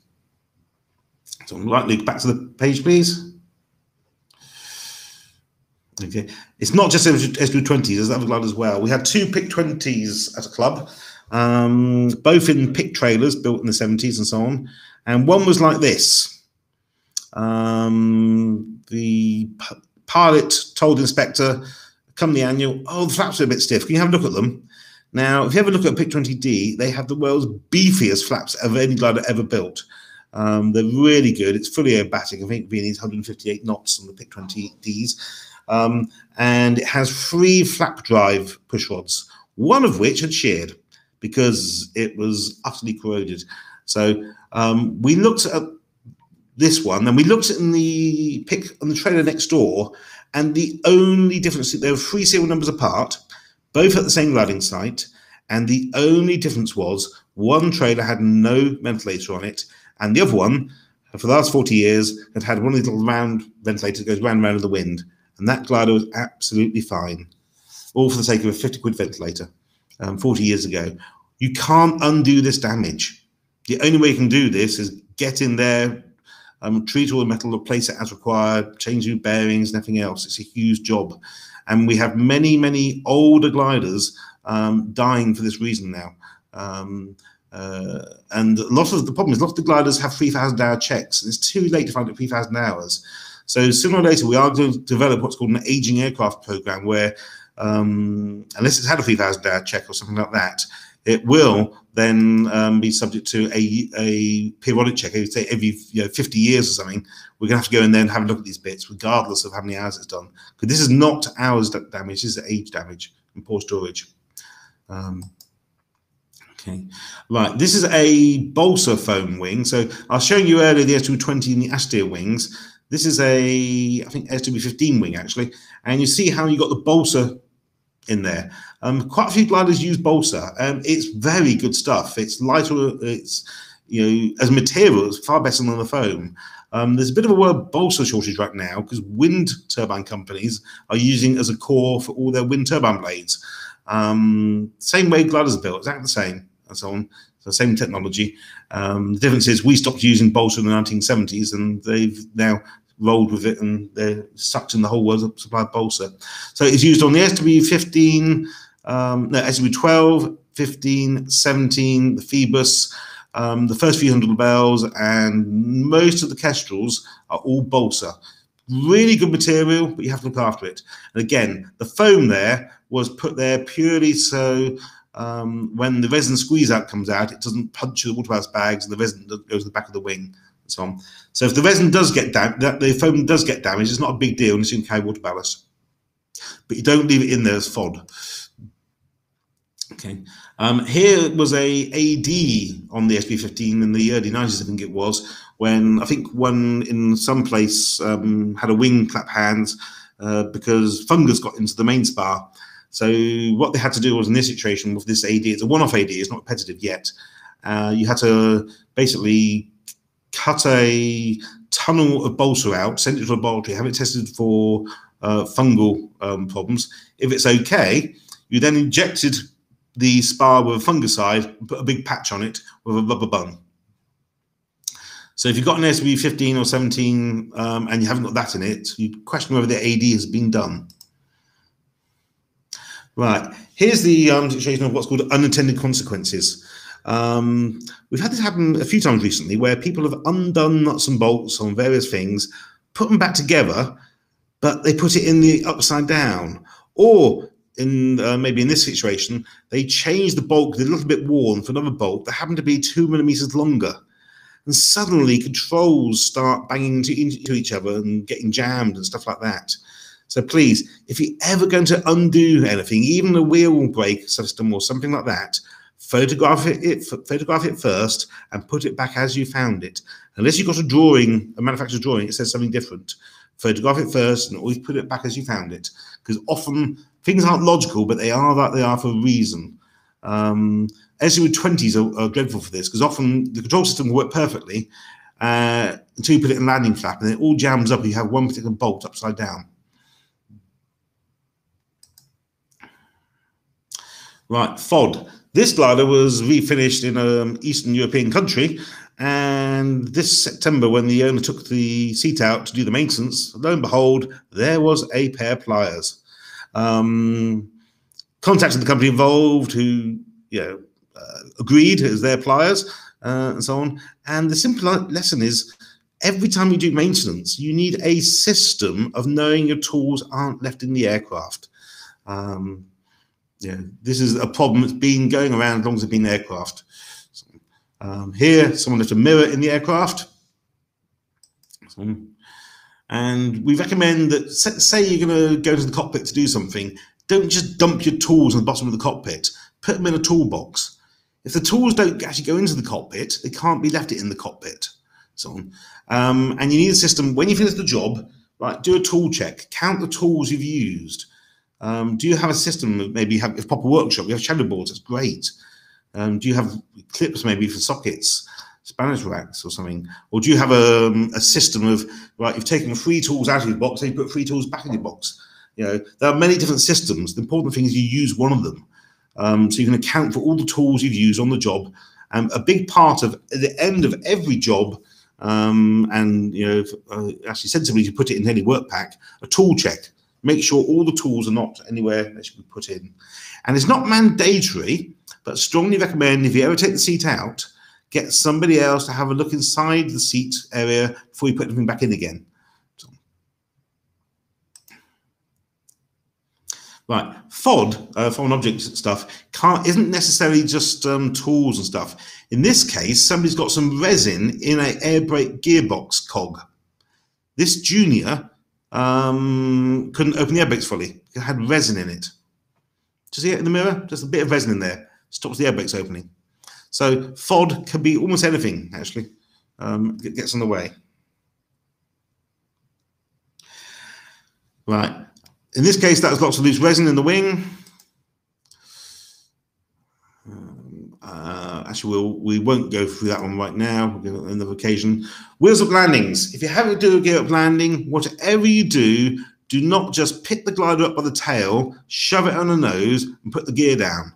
On quite a few glider types, like ASW20s, 19, PEGs, um, Standard Cirrus, and so on, you can do a whole lot of damage up front um, by unbonding the rudder pedals, unbonding the stick frames, and all sorts of stuff like that.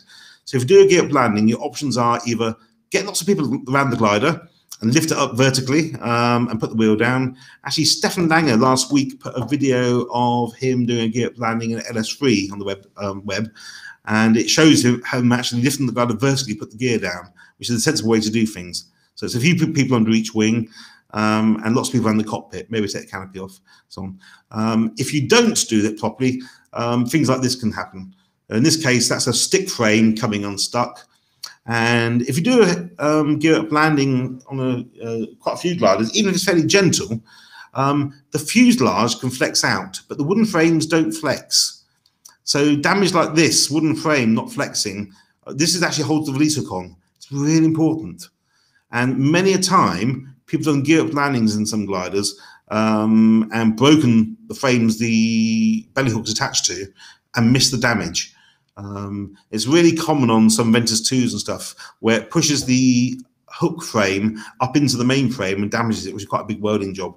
So, yeah, um, if you ever do a gear up landing, um, it's essential you take the cockpit to bits and have a damn good look at all that sort of stuff. That's not part of owner maintenance. Okay. Um, this is an ASW19, it could also be an ASW20 or Pegasus, they're all virtually the same. But the point is, it's generic, uh, any glider. Um, a lot of these gliders now are 40, 50 years old, and there's 40, 50 year old worth of muck and rubbish all at fuselage, um, which means if you ever have to inspect it, you can't. And in a few cases, I've had, had a ASW15 twice now, um, where the there was so much rubbish and grunge in the push rod, and people have actually lubricated the, the um, nylon bearings on the push rod, then the whole elevator system seizes. Uh, and that is a pain in the neck to fix because what you have to do is actually um, from the back end, you can actually get 15 foot long push rod. You have to brush lots of degrease agent around here, clean it all up, um, and then ream it back out with sandpaper until it's, it's takes the push rod again. Um, so if this lot is full of mud, grunge, dust, and so on, at some point spend four or five hours just trying to get in there and get all that stuff out. Lots of vacuum cleaners and brushes on sticks and stuff like that. But do not undo the static vents, please. That gets a big problem. If a static vent ever gets water in it, don't blow it out with an airline. The best solution is make sure you disconnect it from everything and suck it out with a vacuum cleaner. Um, that's way more effective.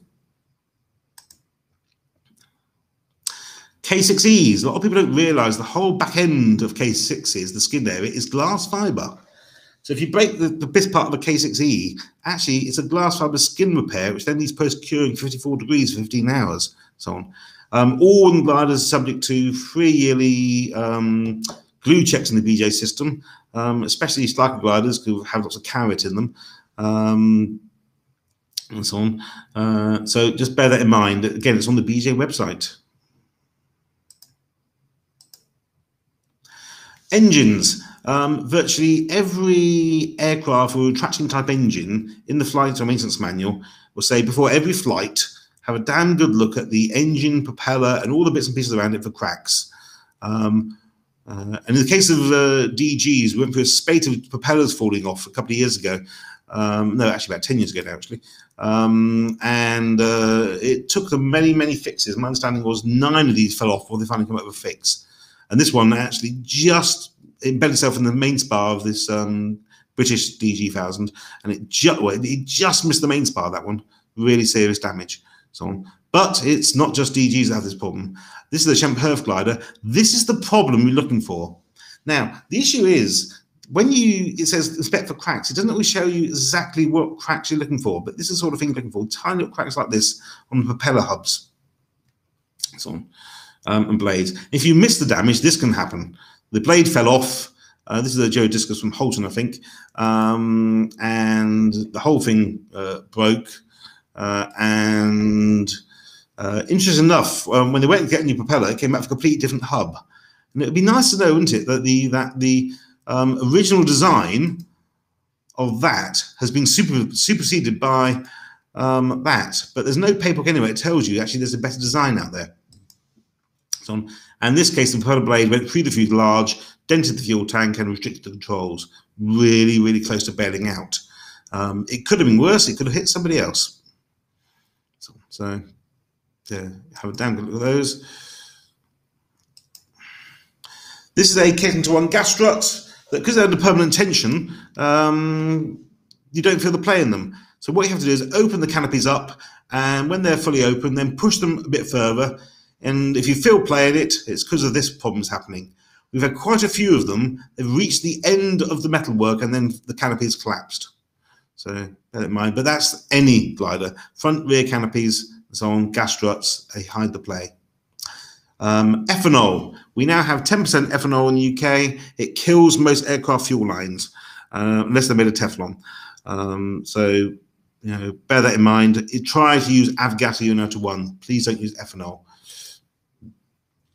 Um, we're not going to major here much, but this is an ASW 24, and we've got a great little video on it you can download after this. Um, this is a base rib here, and in this case, uh, the base rib was broken, and uh, the owner found the base rib was broken um, by walking down the grid and testing how stiff other ASW24s were compared to his. So on. Um, I won't go into detail now. We'll release the video and you can see that uh, later on. So that's just. Um, and here's what a fixed ASW24 boat rib looks like. Okay. Um, essential reading for being a BGA inspector. Um, there's an FAA book of AC43. Um, the links here, go to it and so on.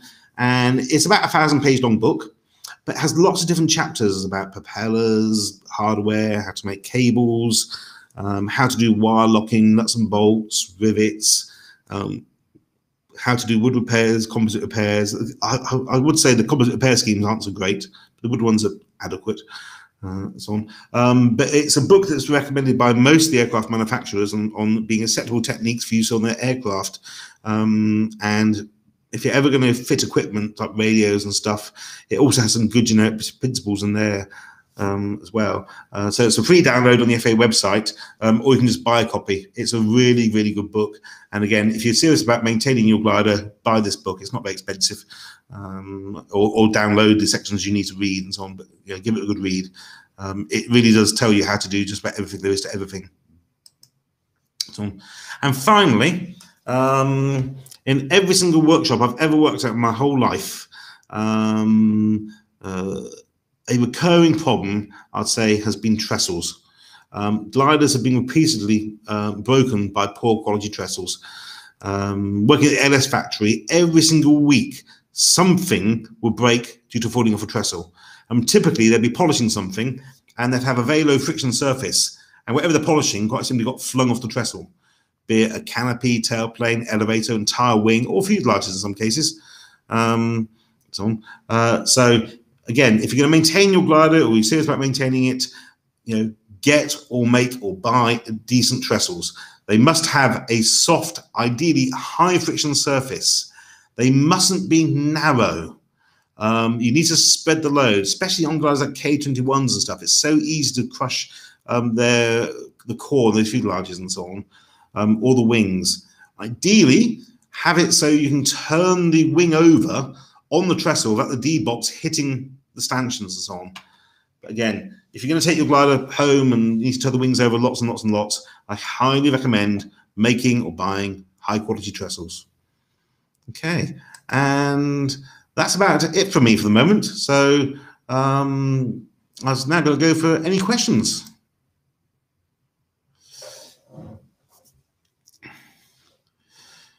Okay, can the placards uh, be on the glass of the ASI?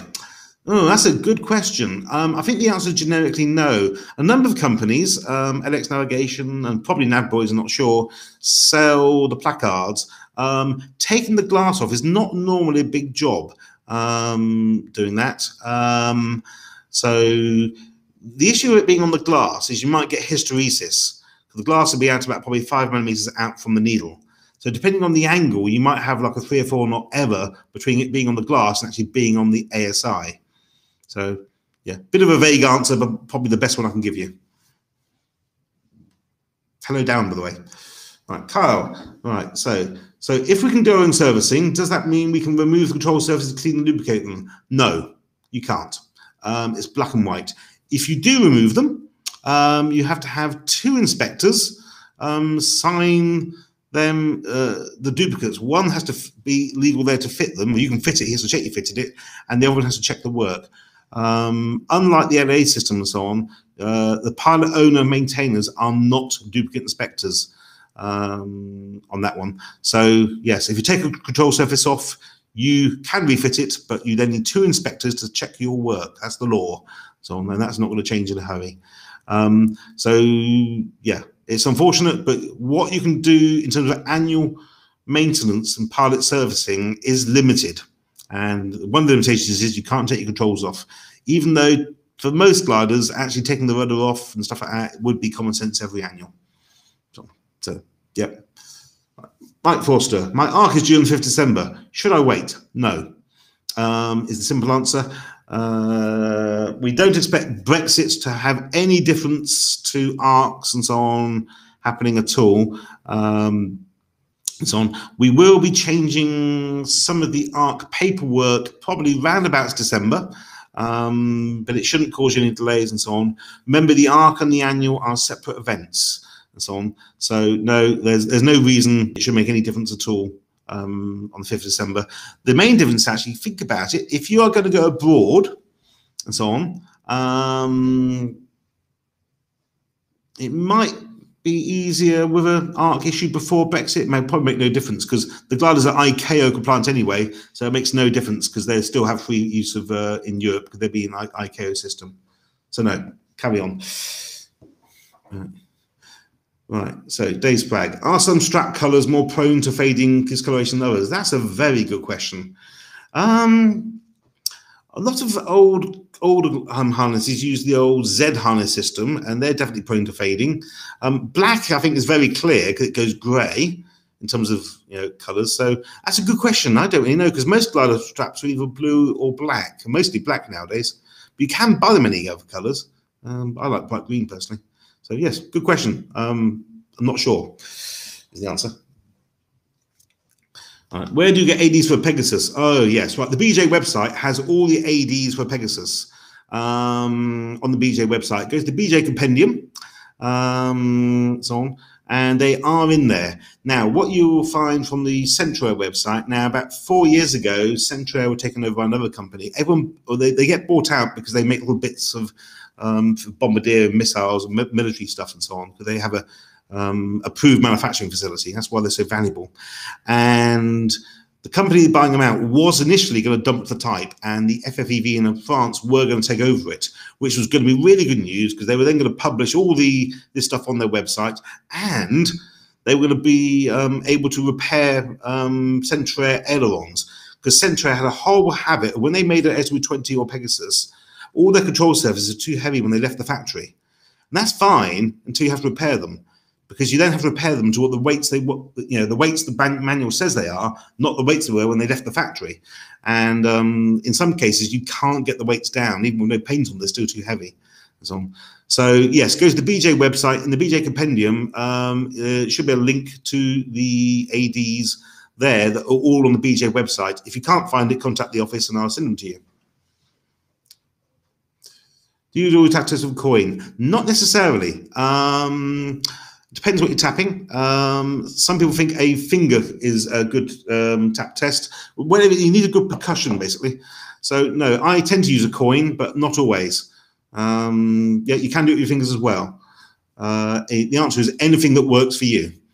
Um, it depends what you're tapping and density. Like if you're tapping carbon fiber, um, it's so stiff, you probably need something uh, like a coin. Whether you're tapping something a bit softer, like glass fiber, maybe not.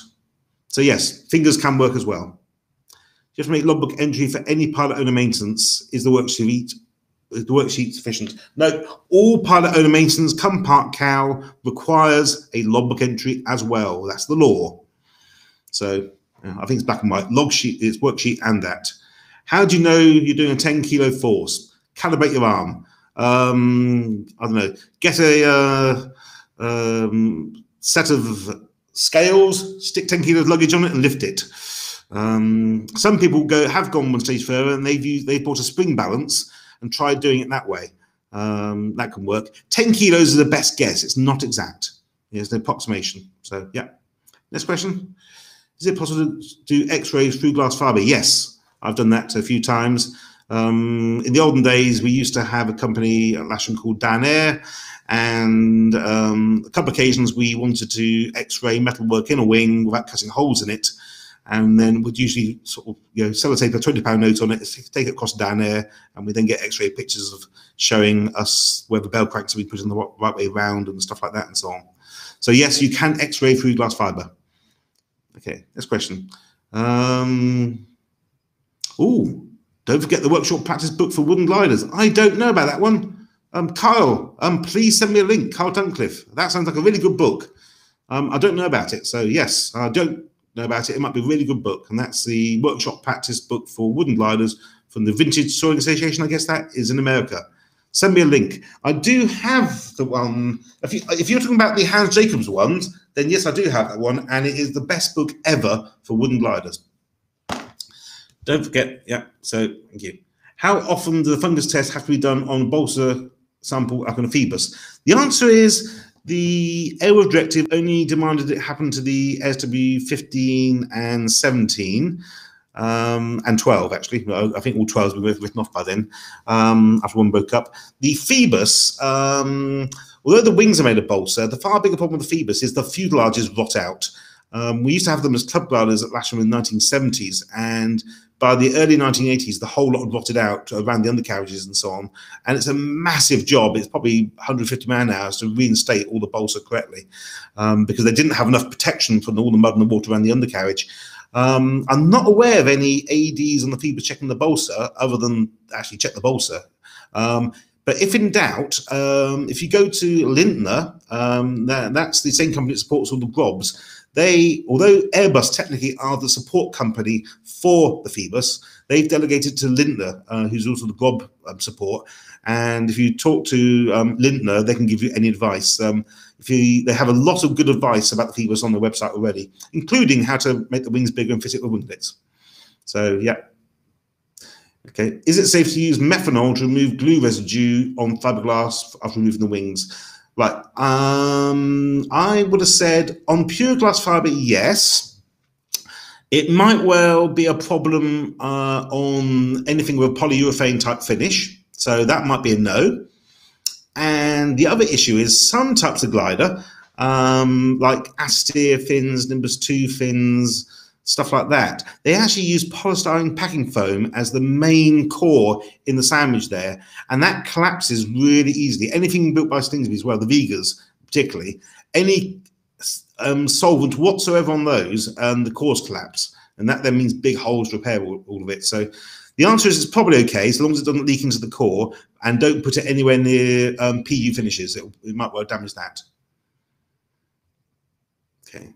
Are you able to carry out daily inspections on club gliders when not having a bonds but being trained? The answer is you can do it under supervision. Um, you can't actually sign for it yourself, but you can do it under supervision, and it's a good thing to learn. When doing DIs, read the manual for the glider if you haven't done so already, because some gliders, especially anything with an engine like a Duo Discus Turbo, there's a whole lot of very specific things you have to look at that aren't generic. So, um, so yes, uh, but without a bonds, technically you can't sign for a DI. But you can still do it, but under supervision. My 1966 vintage has a simple drop-down DV panels. Can I change them for sliders? Ooh, um, I would have thought so. Um, is it an EASA glider or not is the question. Um, if it's EASA, it's a bit more complicated. If it's not EASA, um, yes, I would have thought so. If it's a vintage top down, I'm, I'm thinking maybe a Dart or something like that. Um, the answer, I'd say yes, just get on with it. Um, so on. If it's an EASA one, it's a bit more complicated. Uh, when standing wing, uh, when is it necessary to add a layer of glass fiber um, or resin? Well, we showed you um, an example earlier um, where we had a video of a LS4 wing that gone too far. Now, usually when they build the wing, you have the layer of gel coat in the mold, and then you give it a layer of resin, and then you put the first layer of glass fiber in. And if the first layer of resin was particularly thick, you might just get away with the, the cracks being in the resin and not going through to the glass fiber. But the problem is the moment you hit the glass fiber, the outer layer of glass fiber is usually a very fine layer of, what's either called 92110 or 90070. And the moment you touch that, you've gone through it. Um, in which case, the only thing to do is actually replace that layer of glass fiber. Um, so on. So peeling coat coming off on its own and fiberglass. Okay. Ah, now that's a different issue. What can happen is in when we built, used to build LS4s, they always insisted that you put the Vorglatt Joker into the mold, sprayed it in, and it goes off fully. And that always gave a very waxy finish. And you then brush a coat of resin on there um, and put the glass fiber in. But the reality was the bond between the first layer of resin and the Joker was dreadful. Um, and after the job, if you just put a really strong tape on the Joker, you could quite literally rip the Joker off from the glass fiber because it hadn't stuck and it's shiny underneath. Um, so yes, if you have a wing like that, you might well just be able to um, uh, remove the uh, coat literally just with a chisel, just running along it. It will just flake off possibly. So yeah, next question.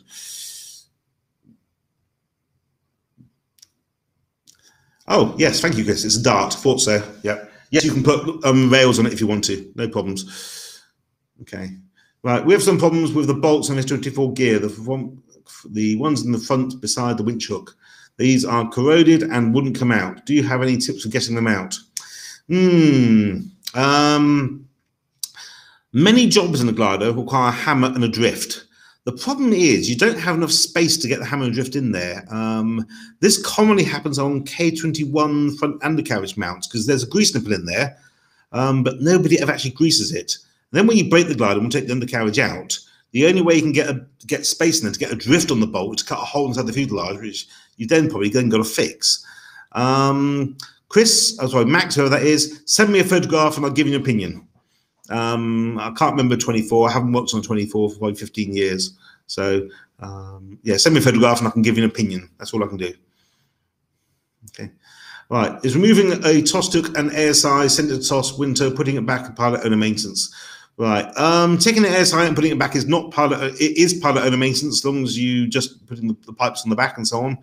Um, the TOST hook, that's a very good question. A hook um, is a what's called an airline item.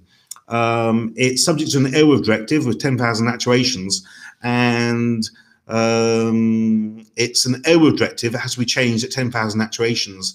Now, TOST have a formula on the website where typically it's between 1,200 and 2,000 launches, but ultimately it's up to the pilot or the owner how they calculate 10,000 actuations, um, so on. Uh, but because it's an AD, I suggest changing a hook is not part of owner maintenance in terms of you can do the job, um, but an inspector actually has to sign the paperwork to say uh, that hook has been put back correctly. The reality is a hook is a very primary bit of equipment, and it's quite easy to cock it up putting it back. Um, it's quite. I've seen many people you know, make mistakes putting hooks back. So, yes, you can, you can do the job yourself, but you can't sign for it yourself. So, no, you have to have supervision of an inspector. Okay.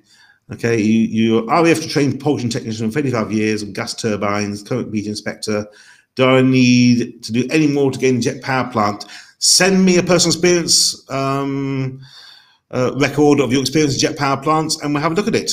Um, but the reality is you've got um, more experience than a lot of them have. So Yes, Mark Hansen. Yes, chances are if you do that, we will give it to you. But you need to apply on the BGA Inspector's application form and send us your actual experience, not just a qualification, the actual experience, what you've actually done to these engines. And if you look in the BGA Personal Experience Record Assessment on the website, um, you'll see the uh, types of work you need to prove to us you've done before. Um, so you you can tailor your personal experience record to actually fulfill what we actually need to see. When refinishing a wing, how do you make sure the profile is uniform as per factory standard? Right. Um, this depends a bit on how old the glider is. because it wasn't until the 90s actually people started using sort of CAD and CNC machines to make molds accurate. Um, back in the 80s, I remember refinishing a mosquito. Um, actually, no, I've got another story. Janus wing. Um, back in the 90s, we had a Janus wing snapped in half, and uh, we had another Janus wing. We thought, ah, brilliant. We'll just join the two together, make all the splices, join the spars, Bob's your uncle, and it'd be a good, good glider. There was a problem though. When we joined them together, um, the wings had a, a one centimeter difference in height because the molds and the jigs were just totally dreadful. Um, you know, it varied how much they did the clamps up and all sorts of things. So um, if you actually got an old glider um, at a fixed station and, and, sawed a hole through the wing and checked whether it had the correct wing section, I am very certain you'll find it's nowhere near as the aircraft designer designed it. Um, if it is, it's more hit than miss because um, the, the moldings and the tooling in the 70s, 60s, 70s, and 80s really wasn't very good. Um, and you know, you'd often find wings are literally half an inch thicker than they should be in some cases. Um, so yes, whereas modern gliders like Ventus 2, 27s, the tooling is probably CAD drawing, CNC tooling, way more accurate. On those gliders, they actually are far more likely to be where they should be. And that's one of the reasons why they're, they're obviously quite a lot better. Um, so yes, uh, that's the best I can answer that question. Old gliders, no. New gliders, yes. If you have doubts about the accuracy of an ASI, is a method of check calibration uh, on the ground? Um, yes, um, I don't know uh, where you are, um, but um, the easiest answer, if you haven't got any test equipment handy, is go to YouTube and look how to make a water manometer and so on. Um, the, the rules of physics apply, and you have a water manometer. Uh, you can check them to the nearest quarter or not quite happily, but you have to make your, if you haven't got the equipment, uh, you have to make your own water manometer. And in the BGA, we allow a two knot error. Um, in a two-seater, though, it's a slightly different set of rules because you don't want to um, glider say, well, for the front ASI under reading by two knots, the rear ASI over reading by two knots, because then the instructor will think you're flying two knots in error. So in two-seaters, recommend the ASIs are fairly closely matched within a couple of knots, but the ASI must be within two knots of where a manometer says it should be. Okay, if you're a Part 66 engineer, um, what are the reasons to become a BGA inspector? Right. Um, the answer is you need some experience on gliders. Um, if you're B3, that helps. Um, the answer is send me a email with your experience and I'll get back onto you on what you have to do. But nowadays, it's all about getting a Part 66L license added to your Part 66B1 license, um, for which you need to have some experience actually doing the job. So send me an email and I'll answer your question. You know if some glider manuals specify a minimum seat load? They do specify a minimum seat load. Um, typically, 70 kilos is the minimum. Um, it's a bit of a strange one, that, because quite often when you weigh the gliders, the by C of G, the minimum cockpit load is actually an awful lot less. Now, the BGA have a recommendation, I seem to recall, that the cockpit load for low experienced pilots should be at least, I seem to recall, 15 or 20 kilos above the min cockpit load. So, say, for instance, you might have a K one with a min seat load of 55 kilos. Um, the placard for the uh, manual says 70 kilos, but in reality, you probably want 75 kilos anyway for the early solid pilot. But if the min cockpit load really is 70 kilos, you probably want 90 kilos in the cockpit. Um, so, yes, there is a min cockpit load of say 70 kilos for K21, but if by C of G the min cockpit load is actually 55 kilos, you need that information as well so you can make sure that on early solo flights and stuff you're not right on the RCFG limit because that's bad news for um, early aerotows and stuff like that and so on. So yes, they do have minimum cockpit loads placarded. Right, I think um, we have reached the end. Um, so now. Um, it's getting quite late. I've gone on way, way, way longer than I thought I should have done now, two and a half hours. If you have any questions, um, please email, email them to the BGA office and I'll do my best to um, get around to answering them. Um, this will be going, um, it's on YouTube, it will be going um, out there, uh, available for you to see outside of this. and those of you who are in the BGA system, please you know, become interested in doing your maintenance. Um, but always, if you're not sure, seek guidance. Don't just have a go. It's a very open culture um, generally, and uh, if you can't get answers to your questions, um, if you ask me, I might not know the answer, but I probably know somebody who does. So good. So um, thank you very, very much for attending, and it's probably now to, time to bid you all good night. So um, good night, and thanks for being here. Bye bye.